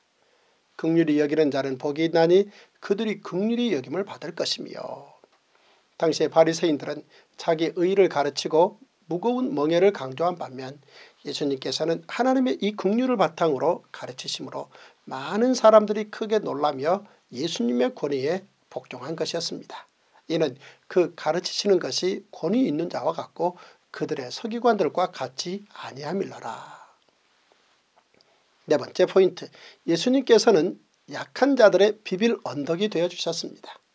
세상 사람들은 강자에게 비굴 하고 약자에게 거만합니다. 그런데 우리 예수님은 공생의 3년 동안 모든 약한 자들의 비빌 언덕이 되어주셨습니다. 너희는 가서 내가 긍휼을 원하고 제사를 원하지 아니하노라 하신 뜻이 무엇인지 배우라. 나는 의인을 부르러 온 것이 아니요 죄인을 부르러 왔노라 하시니라. 이는 예수님께서 이사야 선지자를 통해 예언하신 메시아의 모습을 성취하신 것입니다. 상한 갈대를 꺾지 아니하며 꺼져가는 등불을 끄지 아니하고 진실로 정의를 실행할 것이며 예수님께서는 당시의 상한 갈대 그리고 꺼져가는 등불과 같은 이들에게 가까이 다가가셨고 그들의 친구가 되어 주셨으며 그들의 인생을 변화시켜 주셨습니다. 그 대표적인 예가 바로 세리 마태가 제자 마태로 변화된 것입니다. 하나님의 관심의 대상인 시대의 약자들은 구약 성경에서도 율법을 통해 약한 자들의 비빌 언덕이 되게 하셨습니다. 너희가 너희의 땅에서 곡식을 거둘 때에 너는 반모퉁이까지 다 거두지 말고 내 떨어진 이삭도 줍지 말며 내 포도원의 열매를 다 따지 말며 내 포도원에 떨어진 열매도 줍지 말고 가난한 사람과 거류민을 위하여 버려두라. 나는 너희의 하나님 여호와이니라. 너는 내 이웃을 억압하지 말며 착취하지 말며 품꾼의 싹스를 아침까지 밤새도록 내게 두지 말며 너희와 함께 있는 거류민을 너희 중에서 나은 자같이 여기며 자기같이 사랑하라. 너희도 애굽 땅에서 거류민이 되었었느니라. 나는 너희의 하나님 여호와이니라. 일곱째 날은 내 하나님 여호와의 안식일인즉 너나 내 아들이나 내 딸이나 내 남종이나 내 여종이나 내 소나 내 나귀나 내 모든 가축이나 내 문 안에 유하는 객이라도 아무 일도 하지 못하게 하고 내 남종이나 내 여종에게 너같이 안식하게 할지니라. 구약 시대에는 율법으로 정하신 내용의 실천을 통해 하나님의 긍휼을 베풀어 주셨습니다. 그리고 이제 우리 예수님께서 이 땅에 오심으로 하나님의 긍휼이 예수님을 통해 폭발하게 된 것입니다. 예수님의 이러한 가르침이 서기관과 바리새인들과 다르다고 소문이 나자 그때부터 서기관과 바리새인들이 예수님의 가르치심을 문제 삼아 논쟁을 일으키기 시작했습니다. 그런데 먼저 요한의 제자들이 첫 번째 논쟁의 포문을 열었습니다. 그때 요한의 제자들이 예수께 나와 이르되 우리와 바리새인들은 금식하는데 어찌하여 당신의 제자들은 금식하지 아니하나이까. 그러자 예수님께서는 답하십니다. 예수께서 그들에게 이르시되 혼인집 손님들이 신랑과 함께 있을 동안에 슬퍼할 수 있느냐. 그러나 신랑을 빼앗길 날이 이르리니 그때에는 금식할 것이니라. 그리고 이어서 예수님께서는 옛 언약과 새 언약에 대한 말씀을 다음과 같은 비유로 설명해 주십니다. 생배 조각을 낡은 옷에 붙이는 자가 없나니 이는 기운 것이 그 옷을 당기어 헤어짐이 더하게 되며 새 포도주를 낡은 가죽 부대에 넣지 아니하나니 그렇게 하면 부대가 터져 포도주도 쏟아지고 부대도 버리게 됨이라. 새 포도주는 새 부대에 넣어야 둘이 다 보존되느니라. 이는 예수님 당시에 서기관과 바리새인들 뿐만 아니라 요한의 제자들까지도 예수님의 사역을 이해하지 못했다는 것입니다. 어떤 서기관들이 속으로 이르되 이 사람이 신성을 모독하도다. 바리새인들이 보고 그의 제자들에게 이르되 어찌하여 너희 선생은 세리와 죄인들과 함께 잡수시느냐. 일 후에 예수님께서는 또다시 이적과 기사를 행하시고 많은 병자들을 극률이 여기시며 고쳐주십니다. 첫째, 12년 동안 혈루증을 앓은 여인을 고쳐주십니다. 12회 동안이나 혈루증으로 앓는 여자가 예수의 뒤로 와서 그 겉옷가를 만지니 이는 제 마음에 그 겉옷만 만져도 구원을 받겠다 함이라. 예수께서 돌이켜 그를 보시며 이르시되 따라 안심하라. 내 믿음이 너를 구원하였다 하시니 여자가 그 즉시 구원을 받으니라. 둘째 한 관리의 딸을 살려주십니다. 예수께서 그 관리의 집에 가사 피리 부는 자들과 떠드는 무리를 보시고 이르시되 물러가라 이 소녀가 죽은 것이 아니라 잔다 하시니 그들이 비웃더라. 무리를 내보낸 후에 예수께서 들어가사 소녀의 손을 잡으심에 일어나는지라. 셋째 두 맹인을 고쳐주십니다. 예수께서 거기에서 떠나가실새 두 맹인이 따라오며 소리질러 이르되 다윗의 자손이여 우리를 불쌍히 여기소서 하더니 예수께서 집에 들어가심에 맹인들이 그에게 나아오거늘 예수께서 이르시되 내가 능히 이 일 할 줄을 믿느냐 대답하되 주여 그러하오이다 하니 이에 예수께서 그들의 눈을 만지시며 이르시되 너희 믿음대로 되라 하시니 그 눈들이 밝아진지라 예수께서 엄히 경고하시되 삼가 아무에게도 알리지 말라. 넷째 귀신 들려 말 못하는 사람을 고쳐주십니다. 그들이 나갈 때 귀신 들려 말 못하는 사람을 예수께 데려오니 귀신이 쫓겨나고 말 못하는 사람이 말하거늘 무리가 놀랍게 여겨 이르되 이스라엘 가운데서 이런 일을 본 적이 없다 하되 그런데 예수님의 치유사역에 대해 바리새인들의 시각은 달랐습니다. 바리새인들은 이르되 그가 귀신의 왕을 의지하여 귀신을 쫓아낸다 하더라. 사실 이처럼 예수님께서 당시 유대 민중들에게 가르치시며 하나님 나라를 전파하시며 병든 자들을 고쳐주신 것은 그들이 목자 없는 양과 같았기 때문입니다. 예수께서 모든 도시와 마을에 두루 다니사 그들의 회당에서 가르치시며 천국 복음을 전파하시며 모든 병과 모든 약한 것을 고치시니라. 무리를 보시고 불쌍히 여기시니 이는 그들이 목자 없는 양과 같이 고생하며 기진함이라. 다섯 번째 포인트 예수님께서는 사도행전 30년을 준비하시며 공생의 3년을 동행할 제자들을 부르셨습니다. 예수님께서 공생의 3년을 동행할 열두 제자를 부르십니다. 예수께서 그의 열두 제자를 부르사 더러운 귀신을 쫓아내며 모든 병과 모든 약한 것을 고치는 권능을 주시니라. 열두 사도의 이름은 이러하니 베드로로 하는 시몬을 비롯하여 그의 형제 안드레와 세베대의 아들 야고보와 그의 형제 요한 빌립과 바돌로메 도마와 세리마테 알페오의 아들 야고보와 다데오 가나나인 시몬 및 가론 유다 곧 예수를 판자라. 예수님께서는 열두 제자를 택하여 공생의 3년 동안 훈련시키시고 능력을 주셨습니다. 예수님께서는 제자들을 부르셔서 이후 사도행전 30년을 이끌 준비를 시키신 것입니다. 그들은 예수님의 부활과 승천 이후 사도가 되어 초기 교회를 이끌 교회의 지도자가 될 사람들이었습니다. 예수님께서는 훈련시킨 제자들을 파송하시며 전도 방법을 알려주셨습니다. 첫째 예수님께서는 제자들을 먼저 이스라엘 집으로 파송하십니다. 예수께서 이 열두를 내보내시며 명하여 이르시되 이방인의 길로도 가지 말고 사마리아인의 고을로도 들어가지 말고 오히려 이스라엘 집에 잃어버린 양에게로 가라. 이는 예수님께서 이사야 선지자를 통한 하나님의 말씀을 성취하시기 위함이셨습니다. 즉 하나님의 말씀이 이스라엘에서 시작하여 땅끝으로 이르게 될 것입니다.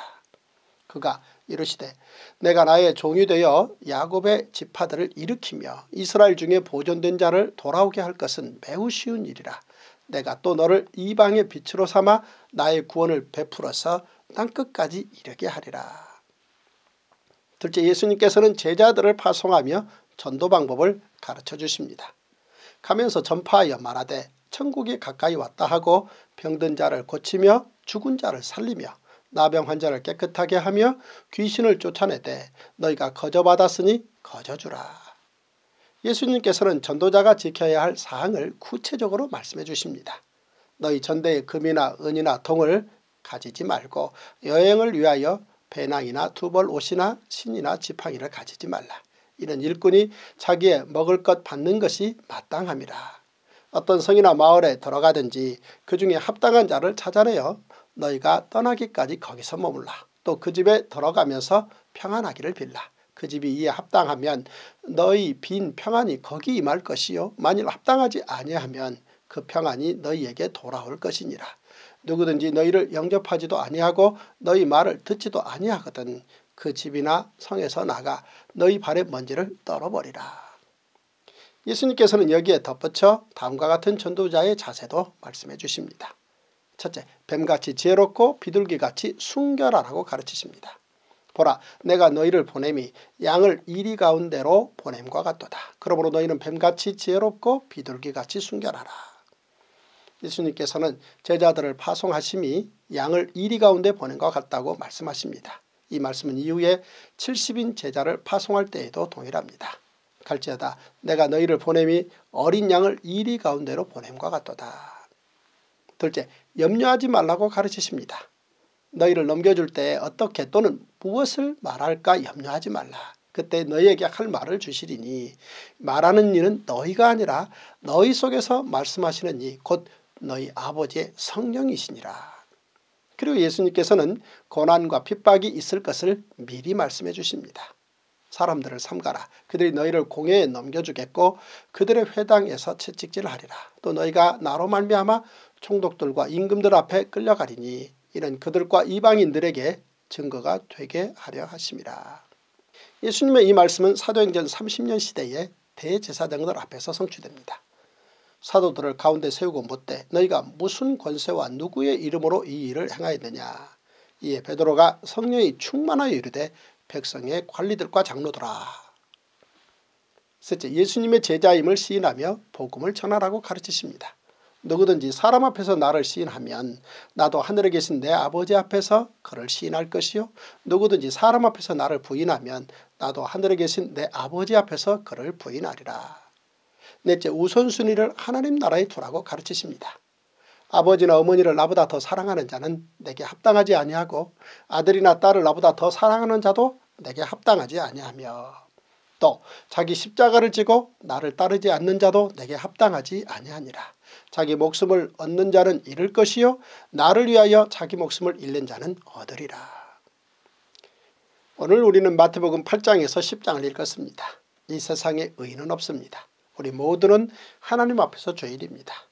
우리 예수님은 이 세상 모든 죄인을 위해 이 땅에 오신 것입니다. 권세자들도 세리도 창기들도 우리 하나님께서는 동일하게 사랑하십니다.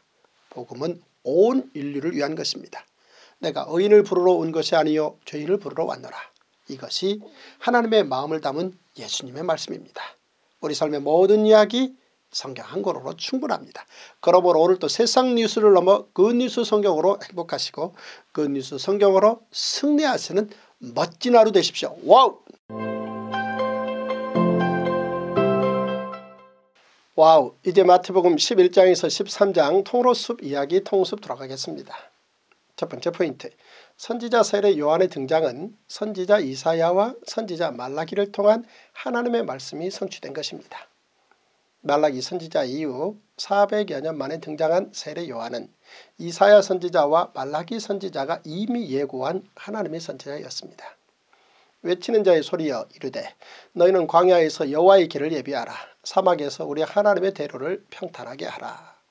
보라 여호와의 크고 두려운 날이 이르기 전에 내가 선지자 엘리야를 너희에게 보내리니 그가 아버지의 마음을 자녀에게로 돌이키게 하고 자녀들의 마음을 그들의 아버지에게로 돌이키게 하리라. 돌이키지 아니하면 두렵건대 내가 와서 저주로 그 땅을 칠까 하노라 하시니라. 이렇게 두 선지자의 예고로 등장한 세례 요한은 많은 사람들에게 회개를 촉구하며 하나님 나라가 곧 도래한다고 전했습니다. 그러자 400여 년 만에 다시 듣게 된 하나님의 말씀에 많은 사람들이 회개하고 세례를 받으며 하나님 나라를 기다리기 시작했습니다. 이렇게 세례 요한은 예수님께서 공생애를 시작하시기 6개월 전부터 예수님의 길을 예비하며 하나님의 말씀을 담대히 전했습니다. 그러다가 세례 요한은 헤로디아의 일로 옥에 갇히게 됩니다. 세례 요한이 옥에 갇힌 후 예수님께서 본격적으로 하나님 나라를 전파하시자 세례 요한이 그의 제자들을 예수님께 보내 다음과 같은 질문을 합니다. 요한이 옥에서 그리스도께서 하신 일을 듣고 제자들을 보내어 예수께 여짜오되 오실 그이가 당신이 오니까 우리가 다른 일을 기다리오리까. 세례 요한은 그의 제자들을 통해 예수님께서 메시아이신지를 확인한 것입니다. 세례 요한이 그러한 질문을 한 이유는 감옥 안에서 예수님께 하시는 일에 대해 전해 들었기 때문입니다. 예수께서 모든 도시와 마을에 두루 다니사 그들의 회당에서 가르치시며 천국 복음을 전파하시며 모든 병과 모든 약한 것을 고치시니라. 사실 세례 요한이 생각한 메시아는 매우 임박한 진노를 퍼붓는 어마무시한 메시아였기 때문입니다. 감옥에 갇히기 전 세례 요한은 강력한 메시지를 전했었습니다. 요한이 많은 바리새인들과 사두개인들이 세례 베푸는 대로 오는 것을 보고 이르되 독사의 자식들아 누가 너희를 가르쳐 임박한 진노를 피하라 하더냐. 이미 도끼가 나무 뿌리에 놓였으니 좋은 열매를 맺지 아니하는 나무마다 찍혀 불에 던져지리라. 나는 너희로 회개하게 하기 위하여 물로 세례를 베풀거니와 내 뒤에 오시는 이는 나보다 능력이 많으시니 나는 그의 신을 들기도 감당하지 못하겠노라. 그는 성령과 불로 너희에게 세례를 베푸실 것이요 손에 키를 들고 자기의 타작마당을 정하게 하사 알곡은 모아 곳간에 들이고 쭉정이는 꺼지지 않는 불에 태우시리라. 이렇게 감옥에 갇혀있는 세례 요한이 그의 제자들을 통해 예수님께서 메시아임을 확인하는 질문을 하자 예수님께서는 다음과 같은 답을 주셨습니다. 예수께서 대답하여 이르시되 너희가 가서 듣고 보는 것을 요한에게 알리되 맹인이 보며 못 걷는 사람이 걸으며 나병 환자가 깨끗함을 받으며 못 듣는 자가 들으며 죽은 자가 살아나며 가난한 자에게 복음이 전파된다 하라. 예수님께서는 이사야 선지자의 메시아 예언으로 답해 주심으로 세례 요한의 시각을 바꾸어 주십니다. 이사야 선지자를 통한 메시아 예언입니다. 그때 맹인의 눈이 밝을 것이며 못 듣는 사람의 귀가 열릴 것이며 그때 저는 자는 사슴같이 뛸 것이며 말 못하는 자의 혀는 노래하리니 이는 광야에서 물이 솟겠고 사막에서 시내가 흐를 것입니다. 주 여호와의 영이 내게 내리셨으니 이는 여호와께서 내게 기름을 부으사 가난한 자에게 아름다운 소식을 전하게 하려 하십니다. 나를 보내사 마음이 상한 자를 고치며 포로된 자에게 자유를 갇힌 자에게 노임을 선포하며 그러므로 메시아이신 예수님께서 행하신 일은 첫째 이사야 35장의 예언대로 맹인, 못 걷는 사람, 나병 환자, 못 듣는 자가 고침을 받고 둘째 이사야 61장의 예언대로 가난한 자들에게 복음이 전파되며 셋째 구약의 예언을 뛰어넘는 메시아의 사역으로 죽은 자들을 살리는 일이었습니다. 예수님께서는 세례 요한의 제자들에게 이렇게 말씀하신 후 예수님의 이 사역으로 인해 실족하지 말라고 말씀하십니다. 누구든지 나로 말미암아 실족하지 아니하는 자는 복이 있도다 하시니라. 그리고 예수님께서는 예수님의 제자들이 선지자 세례 요한을 의심하지 않도록 세례 요한에 대해 다음과 같이 소개하십니다. 그들이 떠나며 예수께서 무리에게 요한에 대하여 말씀하시되 너희가 무엇을 보려 광야에 나갔더냐 바람에 흔들리는 갈대냐 모든 선지자와 율법이 예언한 것은 요한까지니 만일 너희가 즐겨 받을진대 오리라 한 엘리야가 곧 이 사람이니라. 즉 예수님의 말씀은 말라기 선지자가 예언한 오리라 한 엘리야가 바로 이 세례 요한이라는 증언이셨습니다. 두 번째 포인트 세상이 주는 무거운 멍에 대신 예수님께서 주시는 쉬운 멍에를 맨 제자들은 결국 예수님의 증인인 사도가 됩니다. 세례 요한의 회개하라 천국이 가까이 왔느니라 라는 메시지를 듣고 또 예수님의 강력한 회개 촉구를 들었음에도 불구하고 교만함으로 회개하지 않는 당시의 종교 지도자들이 본 예수님에 대한 평가였습니다.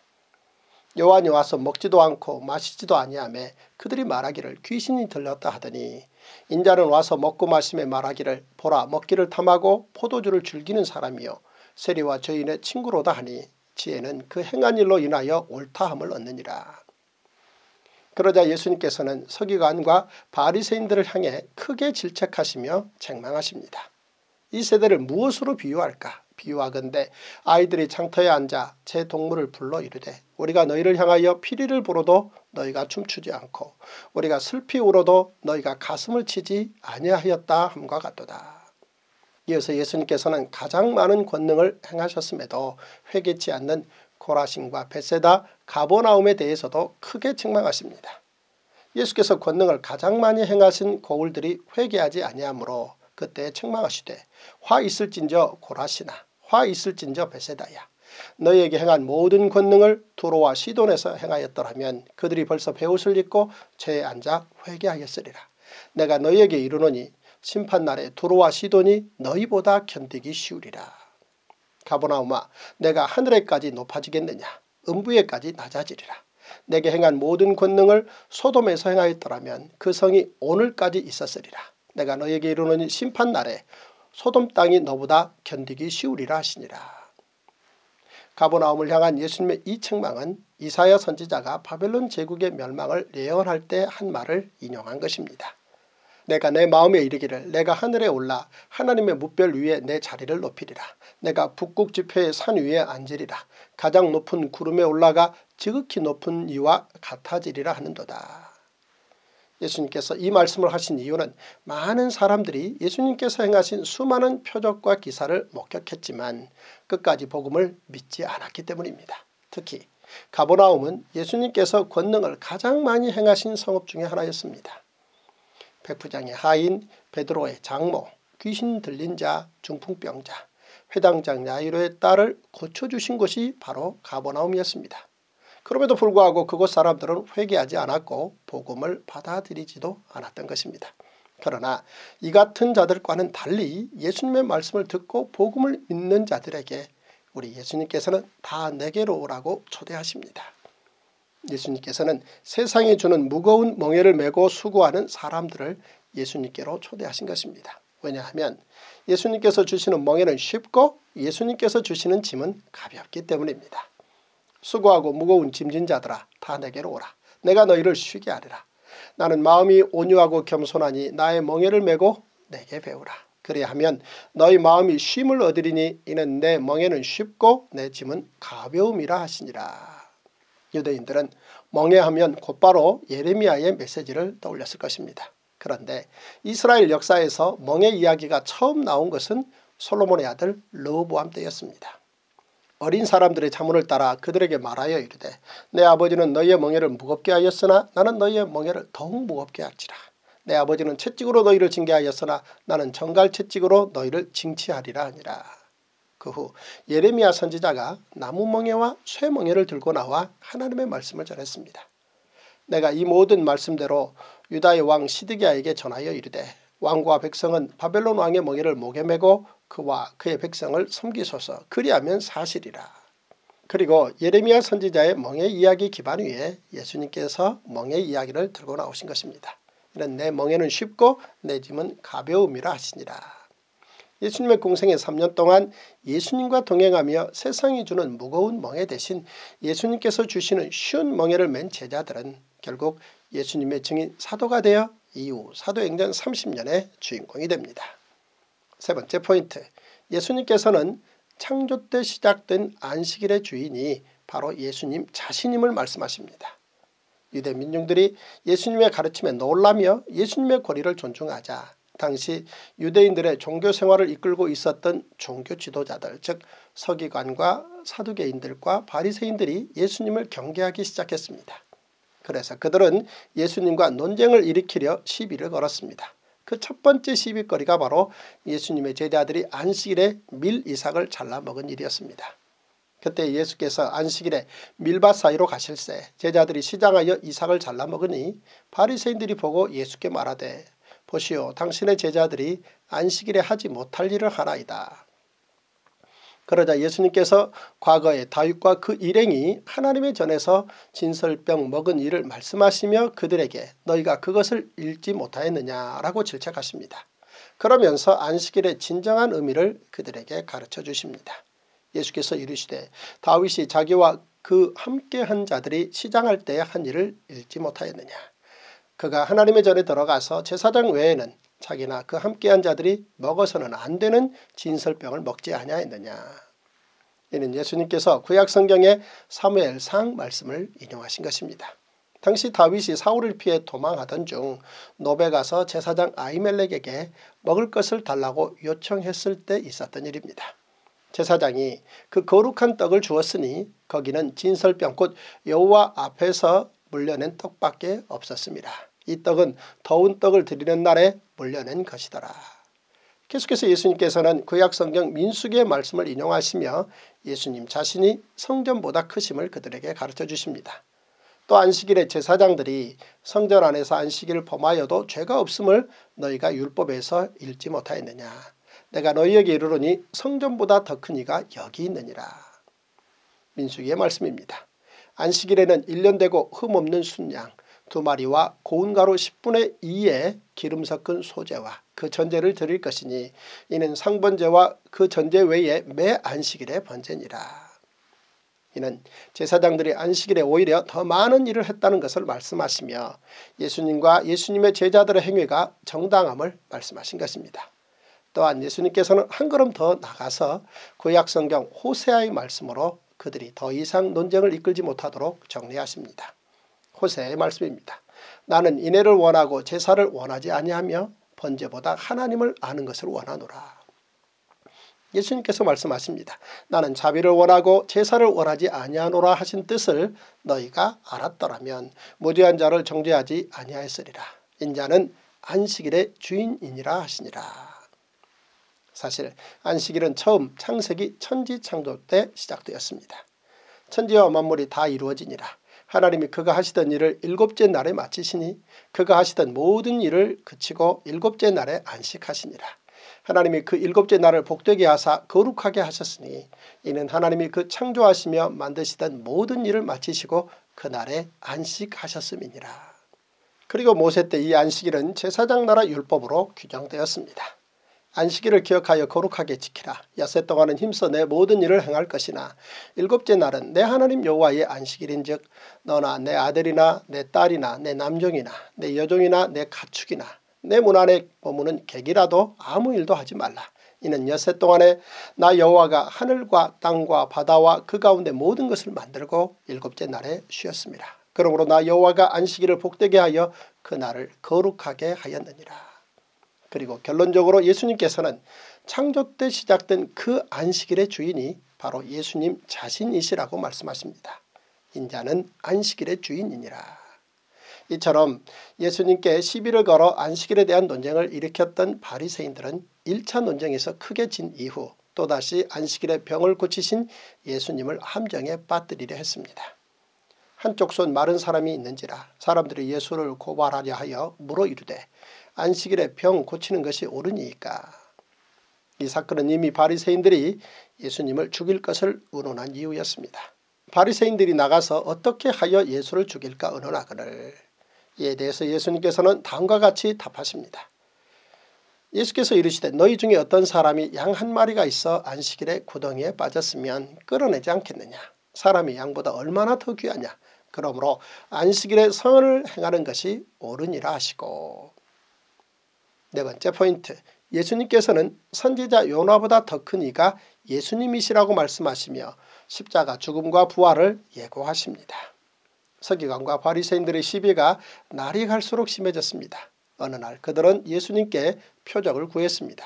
그러자 표적을 구하는 서기관과 바리새인에 대해 예수님께서는 다음과 같이 답변하셨습니다. 그때 서기관과 바리새인 중 몇 사람이 말하되 선생님이여 우리에게 표적 보여주시기를 원하나이다. 예수께서 대답하여 이르시되 악하고 음란한 세대가 표적을 구하나 선지자 요나의 표적밖에는 보일 표적이 없느니라. 요나가 밤낮 사흘 동안 큰 물고기 뱃속에 있었던 것 같이 인자도 밤낮 사흘 동안 땅속에 있으리라. 심판 때에 니누의 사람들이 일어나 이 세대 사람을 정죄하리니 이는 그들이 요나의 전도를 듣고 회개하였음이거니와 요나보다 더 큰 이가 여기 있으며 이는 예수님께서 메시아 있음을 확증하는 표적인 십자가 죽음과 부활을 요나의 표적을 들어 말씀하신 것입니다. 선지자 요나의 기록입니다. 연화를 들어 바다에 던짐에 바다가 뛰노는 것이 곧 그친지라. 사람들이 여호와를 크게 두려워하여 여호와께 제물을 드리고 서원을 하였더라. 여호와께서 이미 큰 물고기를 예비하사 요나를 삼키게 하셨으므로 요나가 밤낮 3일을 물고기 뱃속에 있으니라. 그 즈음에 예수님의 육신의 형제들이 예수님을 찾아오는 일이 생깁니다. 그때 예수님께서는 하나님 나라의 새로운 가족 개념 즉 누구든지 아버지의 뜻대로 하는 자가 예수님의 가족이라고 가르쳐 주십니다. 손을 내밀어 제자들을 가르쳐 이르시되 나의 어머니와 나의 동생들을 보라. 누구든지 하늘에 계신 내 아버지의 뜻대로 하는 자가 내 형제요 자매요 어머니이니라 하시더라. 다섯 번째 포인트 마태는 예수님께서 가르쳐 주신 하나님 나라에 대한 일곱 가지 비유를 모두 정리해서 기록으로 남겼습니다. 예수님의 제자이자 성경 기자인 마태는 예수님께서 비유로 말씀하신 하나님 나라 이야기를 다음과 같이 일곱 가지 비유로 일목요연하게 기록했습니다. 예수님께서 하나님 나라에 대해 비유를 들어 가르쳐 주신 것은 비유는 쉽고 재미있는 월등한 교육 방법으로 어린 아이부터 어른까지 누구나 쉽게 이해할 수 있기 때문입니다. 그래서 예수님께 비유를 통해 하나님 나라를 배운 사람들은 예수님의 공생의 3년 만에 누구든지 하나님 나라를 이해할 수 있었던 것입니다. 이처럼 비유는 timeless, universal, 즉 시간과 장소의 구애를 받지 않았으며 프랑스의 폴 리쾨르가 말한 것처럼 이야기는 요약하면 비유가 되고 비유를 키우면 이야기가 되는 것입니다.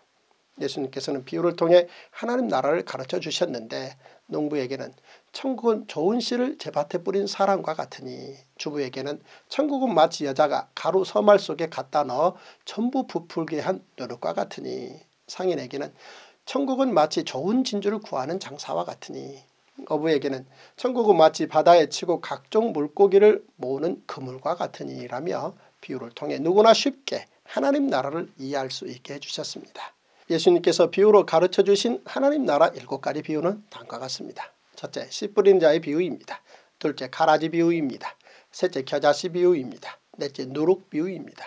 다섯째, 감추어진 보화 비유입니다. 여섯째, 값진 진주 비유입니다.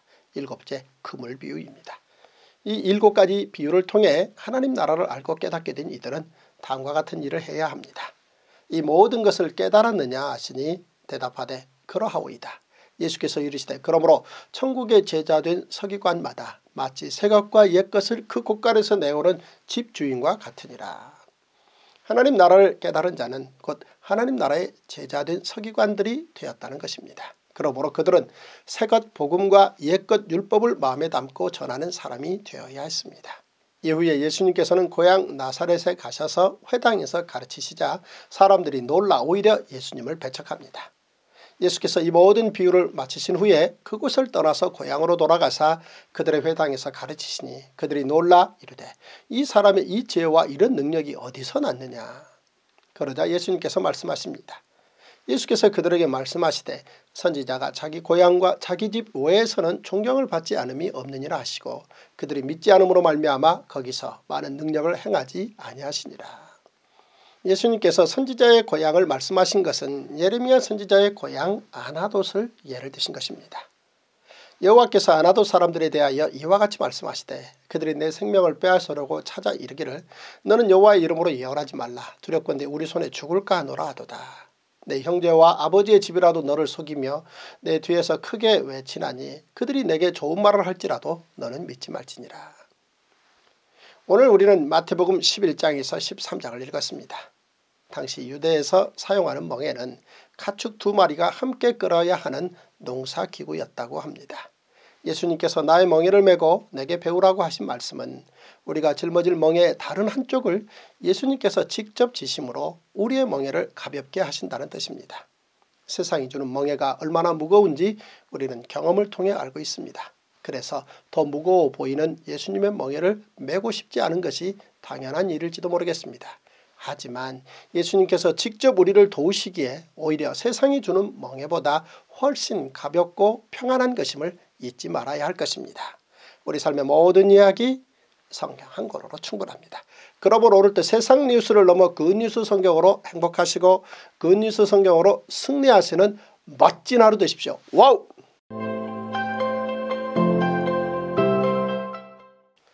wow 이제 마태복음 14장에서 16장 통으로 숲 이야기 통숲 들어가겠습니다. 첫 번째 포인트 하나님께서는 창조 이래 지속적으로 인생들에게 치유를 행하셨습니다. 하나님의 사랑과 관심의 대상은 하나님의 형상을 닮은 우리 인간들입니다. 때문에 하나님께서는 우리 인간들의 고통과 아픔에 함께 아파하시며 병들어 고통당하는 인간들의 치유와 회복에 늘 관심을 두셨습니다. 하나님의 인간 치유의 시작은 아담에서부터 시작되었고 레위기에서 꽃을 피웠습니다. 때문에 레위기는 하나님의 사랑과 치유를 담은 레위 복음서라 할 수 있습니다.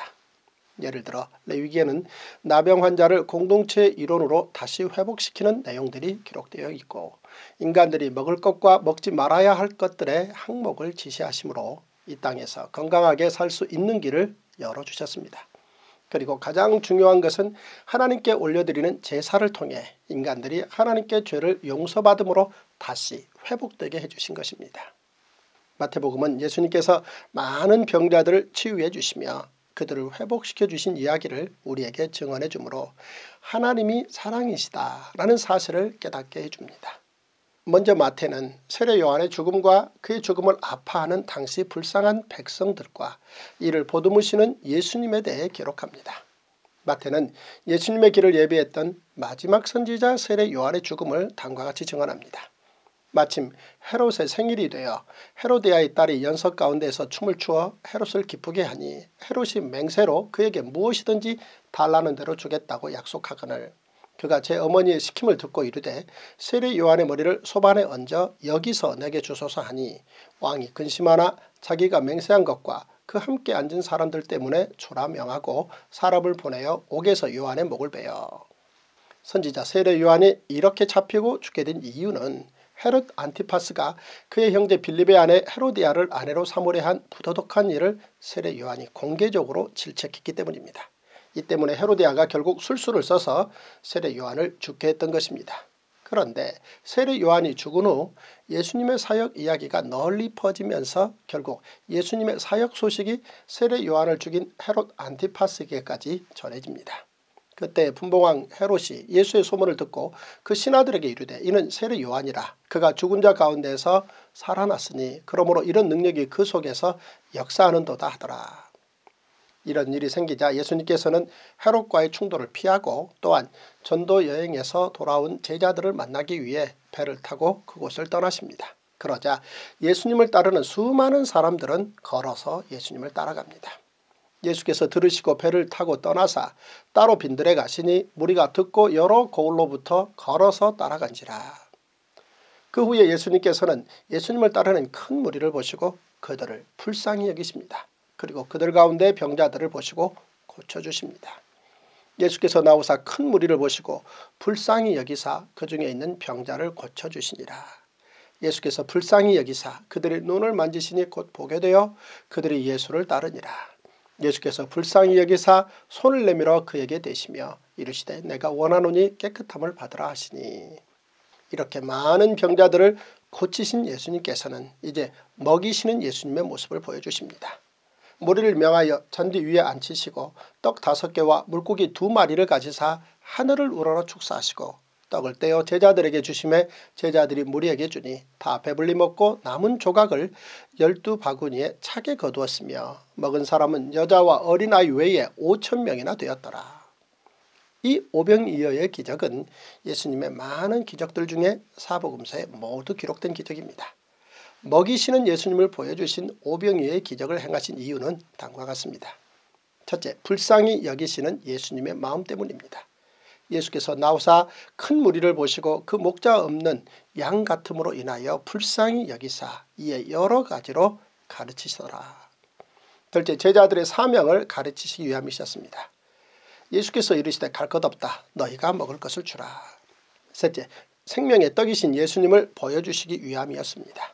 무리를 명하여 잔디 위에 앉히시고 다 배불리 먹고 남은 조각을 열두 바구니에 차게 거두었으며 예수께서 이르시되 나는 생명의 떡이니 내게 오는 자는 결코 줄이지 아니할 터이요 나를 믿는 자는 영원히 목마르지 아니하리라. 이렇게 오병이의 기적을 베푸신 후 예수님께서는 혼자 기도하러 산에 올라가십니다. 그날 밤에 제자들이 풍랑이는 바다에서 고생하고 있는데 예수님께서 그 바다 위를 걸어 제자들에게 오십니다. 무리를 보내신 후에 기도하러 따로 산에 올라가시니라. 저물매 거기 혼자 계시더니 배가 이미 육지에서 술이나 떠나서 바람이 거스림으로 물결로 말미암아 고난을 당하더라. 밤 사경에 예수께서 바다 위로 걸어서 제자들에게 오시니 이때 이를 보고 갑자기 베드로도 물 위를 걷기를 예수님께 청합니다. 베드로가 대답하여 이르되 주여 만일 주님이시거든 나를 명하여 물 위로 오라 하소서 하니 오라 하시니 베드로가 배에서 내려 물 위로 걸어서 예수께로 가되 바람을 보고 무서워 빠져가는지라 소리질러 이르되 주여 나를 구원하소서 하니 예수께서 즉시 손을 내밀어 그를 붙잡으시며 이르시되 믿음이 작은 자여 왜 의심하였느냐 하시고 이 일로 비로소 예수님의 제자들은 예수님을 하나님의 아들이라 고백하게 됩니다. 배에 있는 사람들이 예수께 절하며 이르되 진실로 하나님의 아들이로소이다 하더라. 그리고 예수님께서는 게네사렛에 가셔서 병자들을 고쳐주십니다. 그들이 건너가 게네사렛 땅에 이르니 그곳 사람들이 예수이신 줄을 알고 그 근방에 두루 통제하여 모든 병자를 예수께 데리고 와서 다만 예수의 옷자락에라도 손을 대게 하시기를 강구하니 손을 대는 자는 다 나음을 얻으니라. 게네사렛은 예수님께서 이때 처음으로 방문하신 곳이었는데 이미 유대 전역에 예수님의 소문이 다 퍼져 있었다는 것을 알 수 있습니다. 두 번째 포인트 예루살렘에 있는 사내들인 공회는 바리새인과 서기관들을 갈릴리로 파견해 예수님과 논쟁을 벌이게 합니다. 예수님에 대한 소문이 유대 전역으로 퍼져가자 헤롯 안티파스는 물론 예루살렘에 있는 사내들인 공회의 경계가 시작됩니다. 그 이전까지는 주로 서기관들과 바리새인들이 개인적으로 예수님께 시비를 걸면서 질문을 하는 정도였는데 이제는 예루살렘으로부터 갈릴리까지 파견 나온 바리새인과 서기관들 즉 사내들인 공회원들이 예수님에 대해 조사를 시작한 것입니다. 예루살렘에서 갈릴리까지 파견 나온 사내들인 공회원들은 장로들의 전통에 관해 예수님과 논쟁을 시작합니다. 그때 바리새인과 서기관들이 예루살렘으로부터 예수께 나와 이르되 당신의 제자들이 어찌하여 장로들의 전통을 범하나이까 떡 먹을 때에 손을 씻지 아니하나이다. 사내들인 공회원들의 이 질문에 예수님께서는 다음과 같이 답변하십니다. 대답하여 이르시되 너희는 어찌하여 너희의 전통으로 하나님의 계명을 범하느냐. 너희는 이르되 사람이 아버지에게나 어머니에게나 말하기를 내가 드려 유익하게 할 것이 고르반 곧 하나님께 드림이 되었다고 하기만 하면 그만이라 하고 이는 예수님께서 장로들의 전통은 지키면서 그 위에 있는 하나님의 율법은 왜 어기는지 되짚어 물으신 것입니다. 예수님께서는 이를 위해 10계명 5계명과 실천 법규를 인용하셨습니다. 유대인들이 부모를 부양하지는 않고 그에 해당하는 헌물 곧 고르반을 하면 그것으로 부모에 대한 책임을 다하는 것이라고 전통을 만들었던 것입니다. 다시 말해 그들은 자신들에게 유리하게 만든 전통은 지키면서 하나님의 말씀은 오히려 무시했던 것입니다.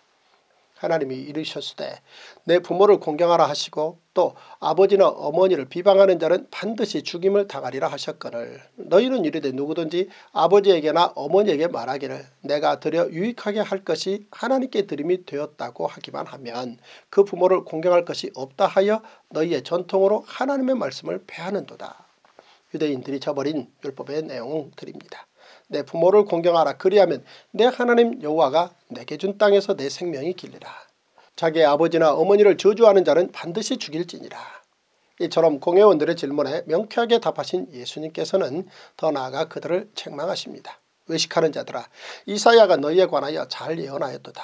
일러시되 이 백성이 입술로는 나를 공경하되 마음은 내게서 멀도다. 사람의 계명으로 교훈을 삼아 가르치니 나를 헛되이 경배하는도다 하였느니라 하시고 예수님께서 인용하신 이사야 선지자의 말씀은 다음과 같습니다. 주께서 이르시되 이 백성이 입으로는 나를 가까이 하며 입술로는 나를 공경하나 그들의 마음은 내게서 멀리 떠났나니 그들이 나를 경외함은 사람의 계명으로 가르침을 받았을 뿐이라. 여기서 예수님께서 사내들인 공회원들을 꾸짖으셨던 전통은 바로 고르반을 뜻합니다.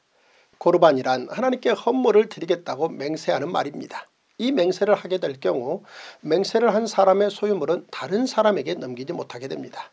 그러나 하나님께 헌물을 드리겠다고 맹세한 사람이 살아있을 동안에는 그 소유물을 자신이 사용할 수 있으며 자신이 죽은 후에 그 소유를 성전에 바치면 되는 것이었습니다.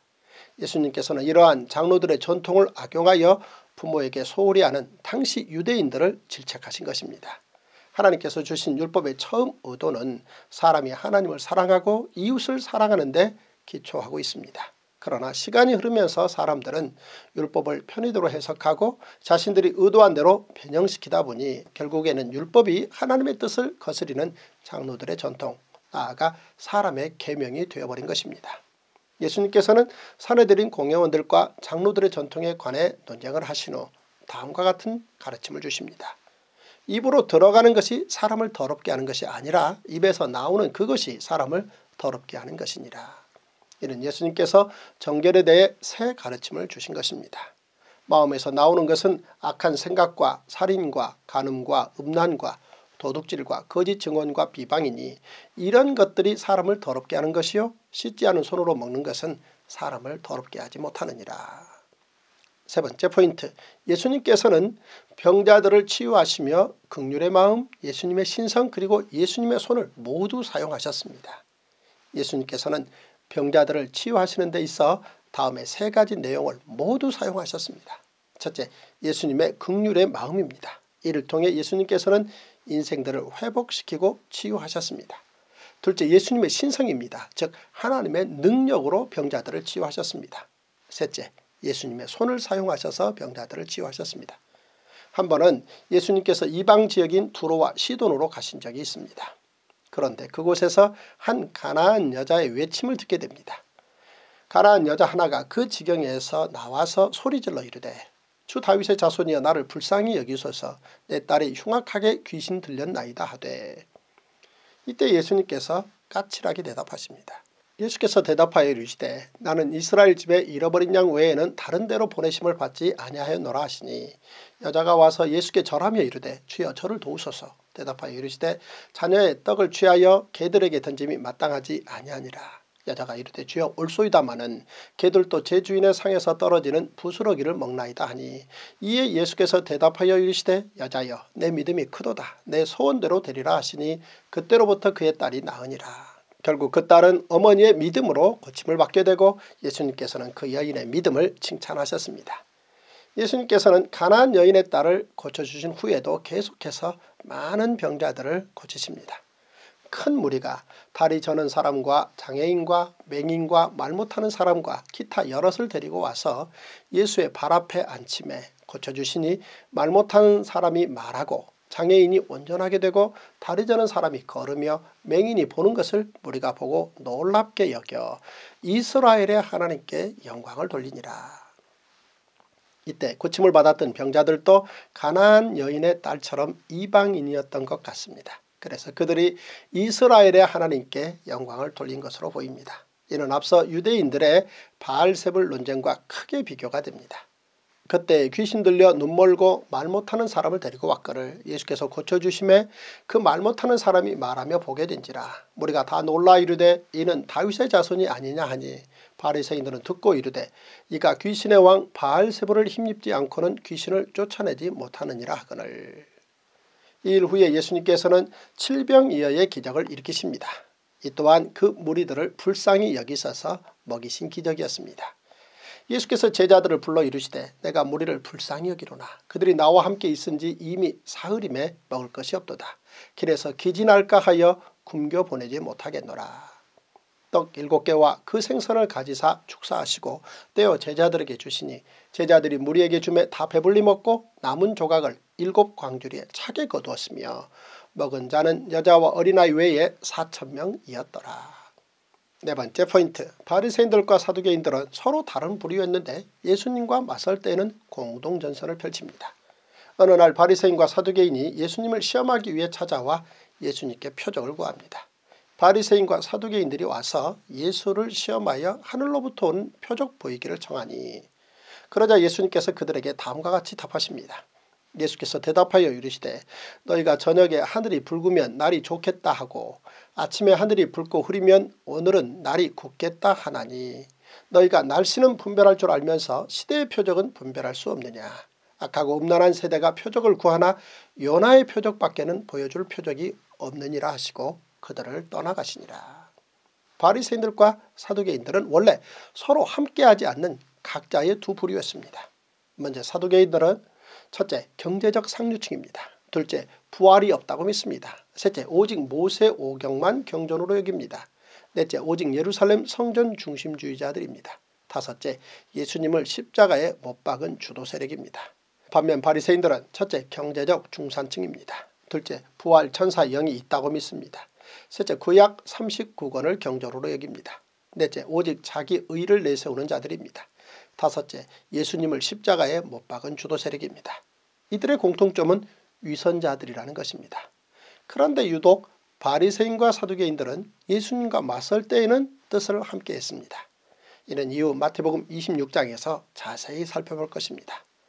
이일 후에 베드로의 신앙 고백 이야기가 이어집니다. 예수께서 빌립보 가이사라 지방에 이르러 제자들에게 물어 이르시되 사람들이 인자를 누구라 하느냐 이르되 더러는 세례 요한 더러는 엘리야 어떤 이는 예레미야나 선지자 중에 하나라 하나이다. 그러자 예수님께서 제자들에게 질문하십니다. 이르시되 너희는 나를 누구라 하느냐 시몬 베드로가 대답하여 이르되 주는 그리스도시요 살아계신 하나님의 아들이시니이다. 이때 베드로는 예수님이 누구이신지 자신의 신앙을 고백한 것입니다. 다섯 번째 포인트 예수님께서는 베드로의 신앙 고백 이후 공개적으로 십자가 사역을 말씀하십니다. 베드로의 신앙 고백을 들으시고 예수님께서는 베드로에게 다음과 같이 말씀하십니다. 예수께서 대답하여 이르시되 바요나 시모나 내가 복이 있도다. 이를 내게 알게 한 이는 혈육이 아니요 하늘에 계신 내 아버지시니라. 또 내가 내게 이르노니 너는 베드로라. 내가 이 반석 위에 내 교회를 세우리니 음부의 권세가 이기지 못하리라. 내가 천국 열쇠를 내게 주리니 내가 땅에서 무엇이든지 매면 하늘에서도 매일 것이요. 내가 땅에서 무엇이든지 풀면 하늘에서도 풀리리라 하시고 이 반석 위에 내 교회를 세우리니 이 말씀은 주는 그리스도시요 살아계신 하나님의 아들이시니다 라는 베드로의 신앙 고백 위에 교회를 세우신다는 말씀입니다. 또한 베드로에게 천국 열쇠를 주심은 베드로의 신앙 고백 위에 세운 교회에 천국 열쇠를 주시겠다는 말씀입니다. 베드로가 이렇게 예수님에 대한 신앙을 고백하자 예수님께서는 베드로의 그 신앙 고백 위에 예수님의 순환을 처음 예고하십니다. 이때로부터 예수 그리스도께서 자기가 예루살렘에 올라가 장로들과 대제사장들과 서기관들에게 많은 고난을 받고 죽임을 당하고 제3일에 살아나야 할 것을 제자들에게 비로소 나타내시니 예수님께서는 앞서 몇 차례 순환을 예고하셨지만 이때부터 공개적으로 예수님의 순환을 예고하기 시작하십니다. 그리고 십자가 사역을 준비하십니다. 그런데 예수님께서 순환을 예고하실 때 예수님의 그 순환을 만류하는 베드로를 책망하십니다. 베드로가 예수를 붙들고 항변하여 이르되 주여 그리 마옵소서 이 일이 결코 주께 미치지 아니하리이다. 예수께서 돌이키시며 베드로에게 이르시되 사탄아 내 뒤로 물러가라. 너는 나를 넘어지게 하는 자로다. 내가 하나님의 일을 생각하지 아니하고 도리어 사람의 일을 생각하는도다 하시고 이는 예수님께서 광야에서 사탄이 시험할 때 하셨던 말씀과 동일한 말씀으로 베드로를 책망하신 것입니다.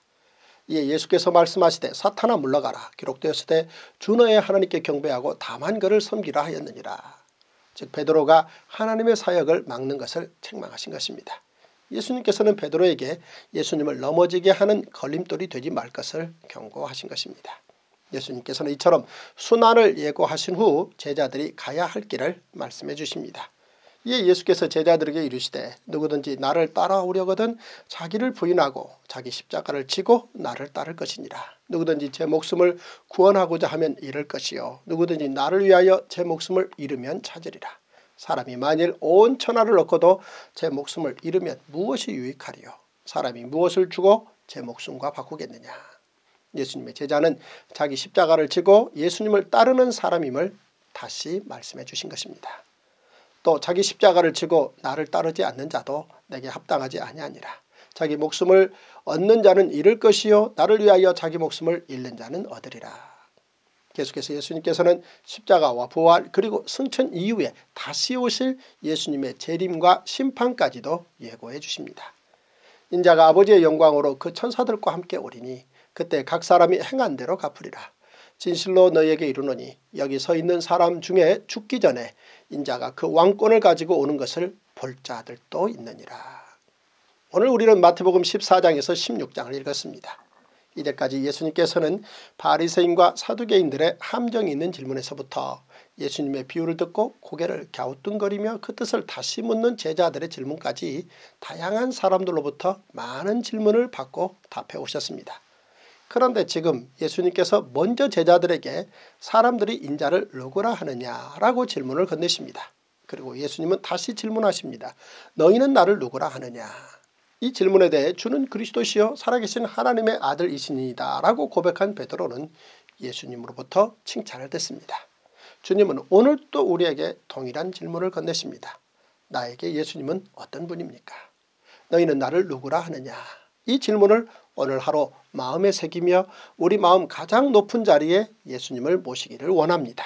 우리 삶의 모든 이야기 성경 한 권으로 충분합니다. 그러므로 오늘도 세상 뉴스를 넘어 good news 성경으로 행복하시고 good news 성경으로 승리하시는 멋진 하루 되십시오. wow!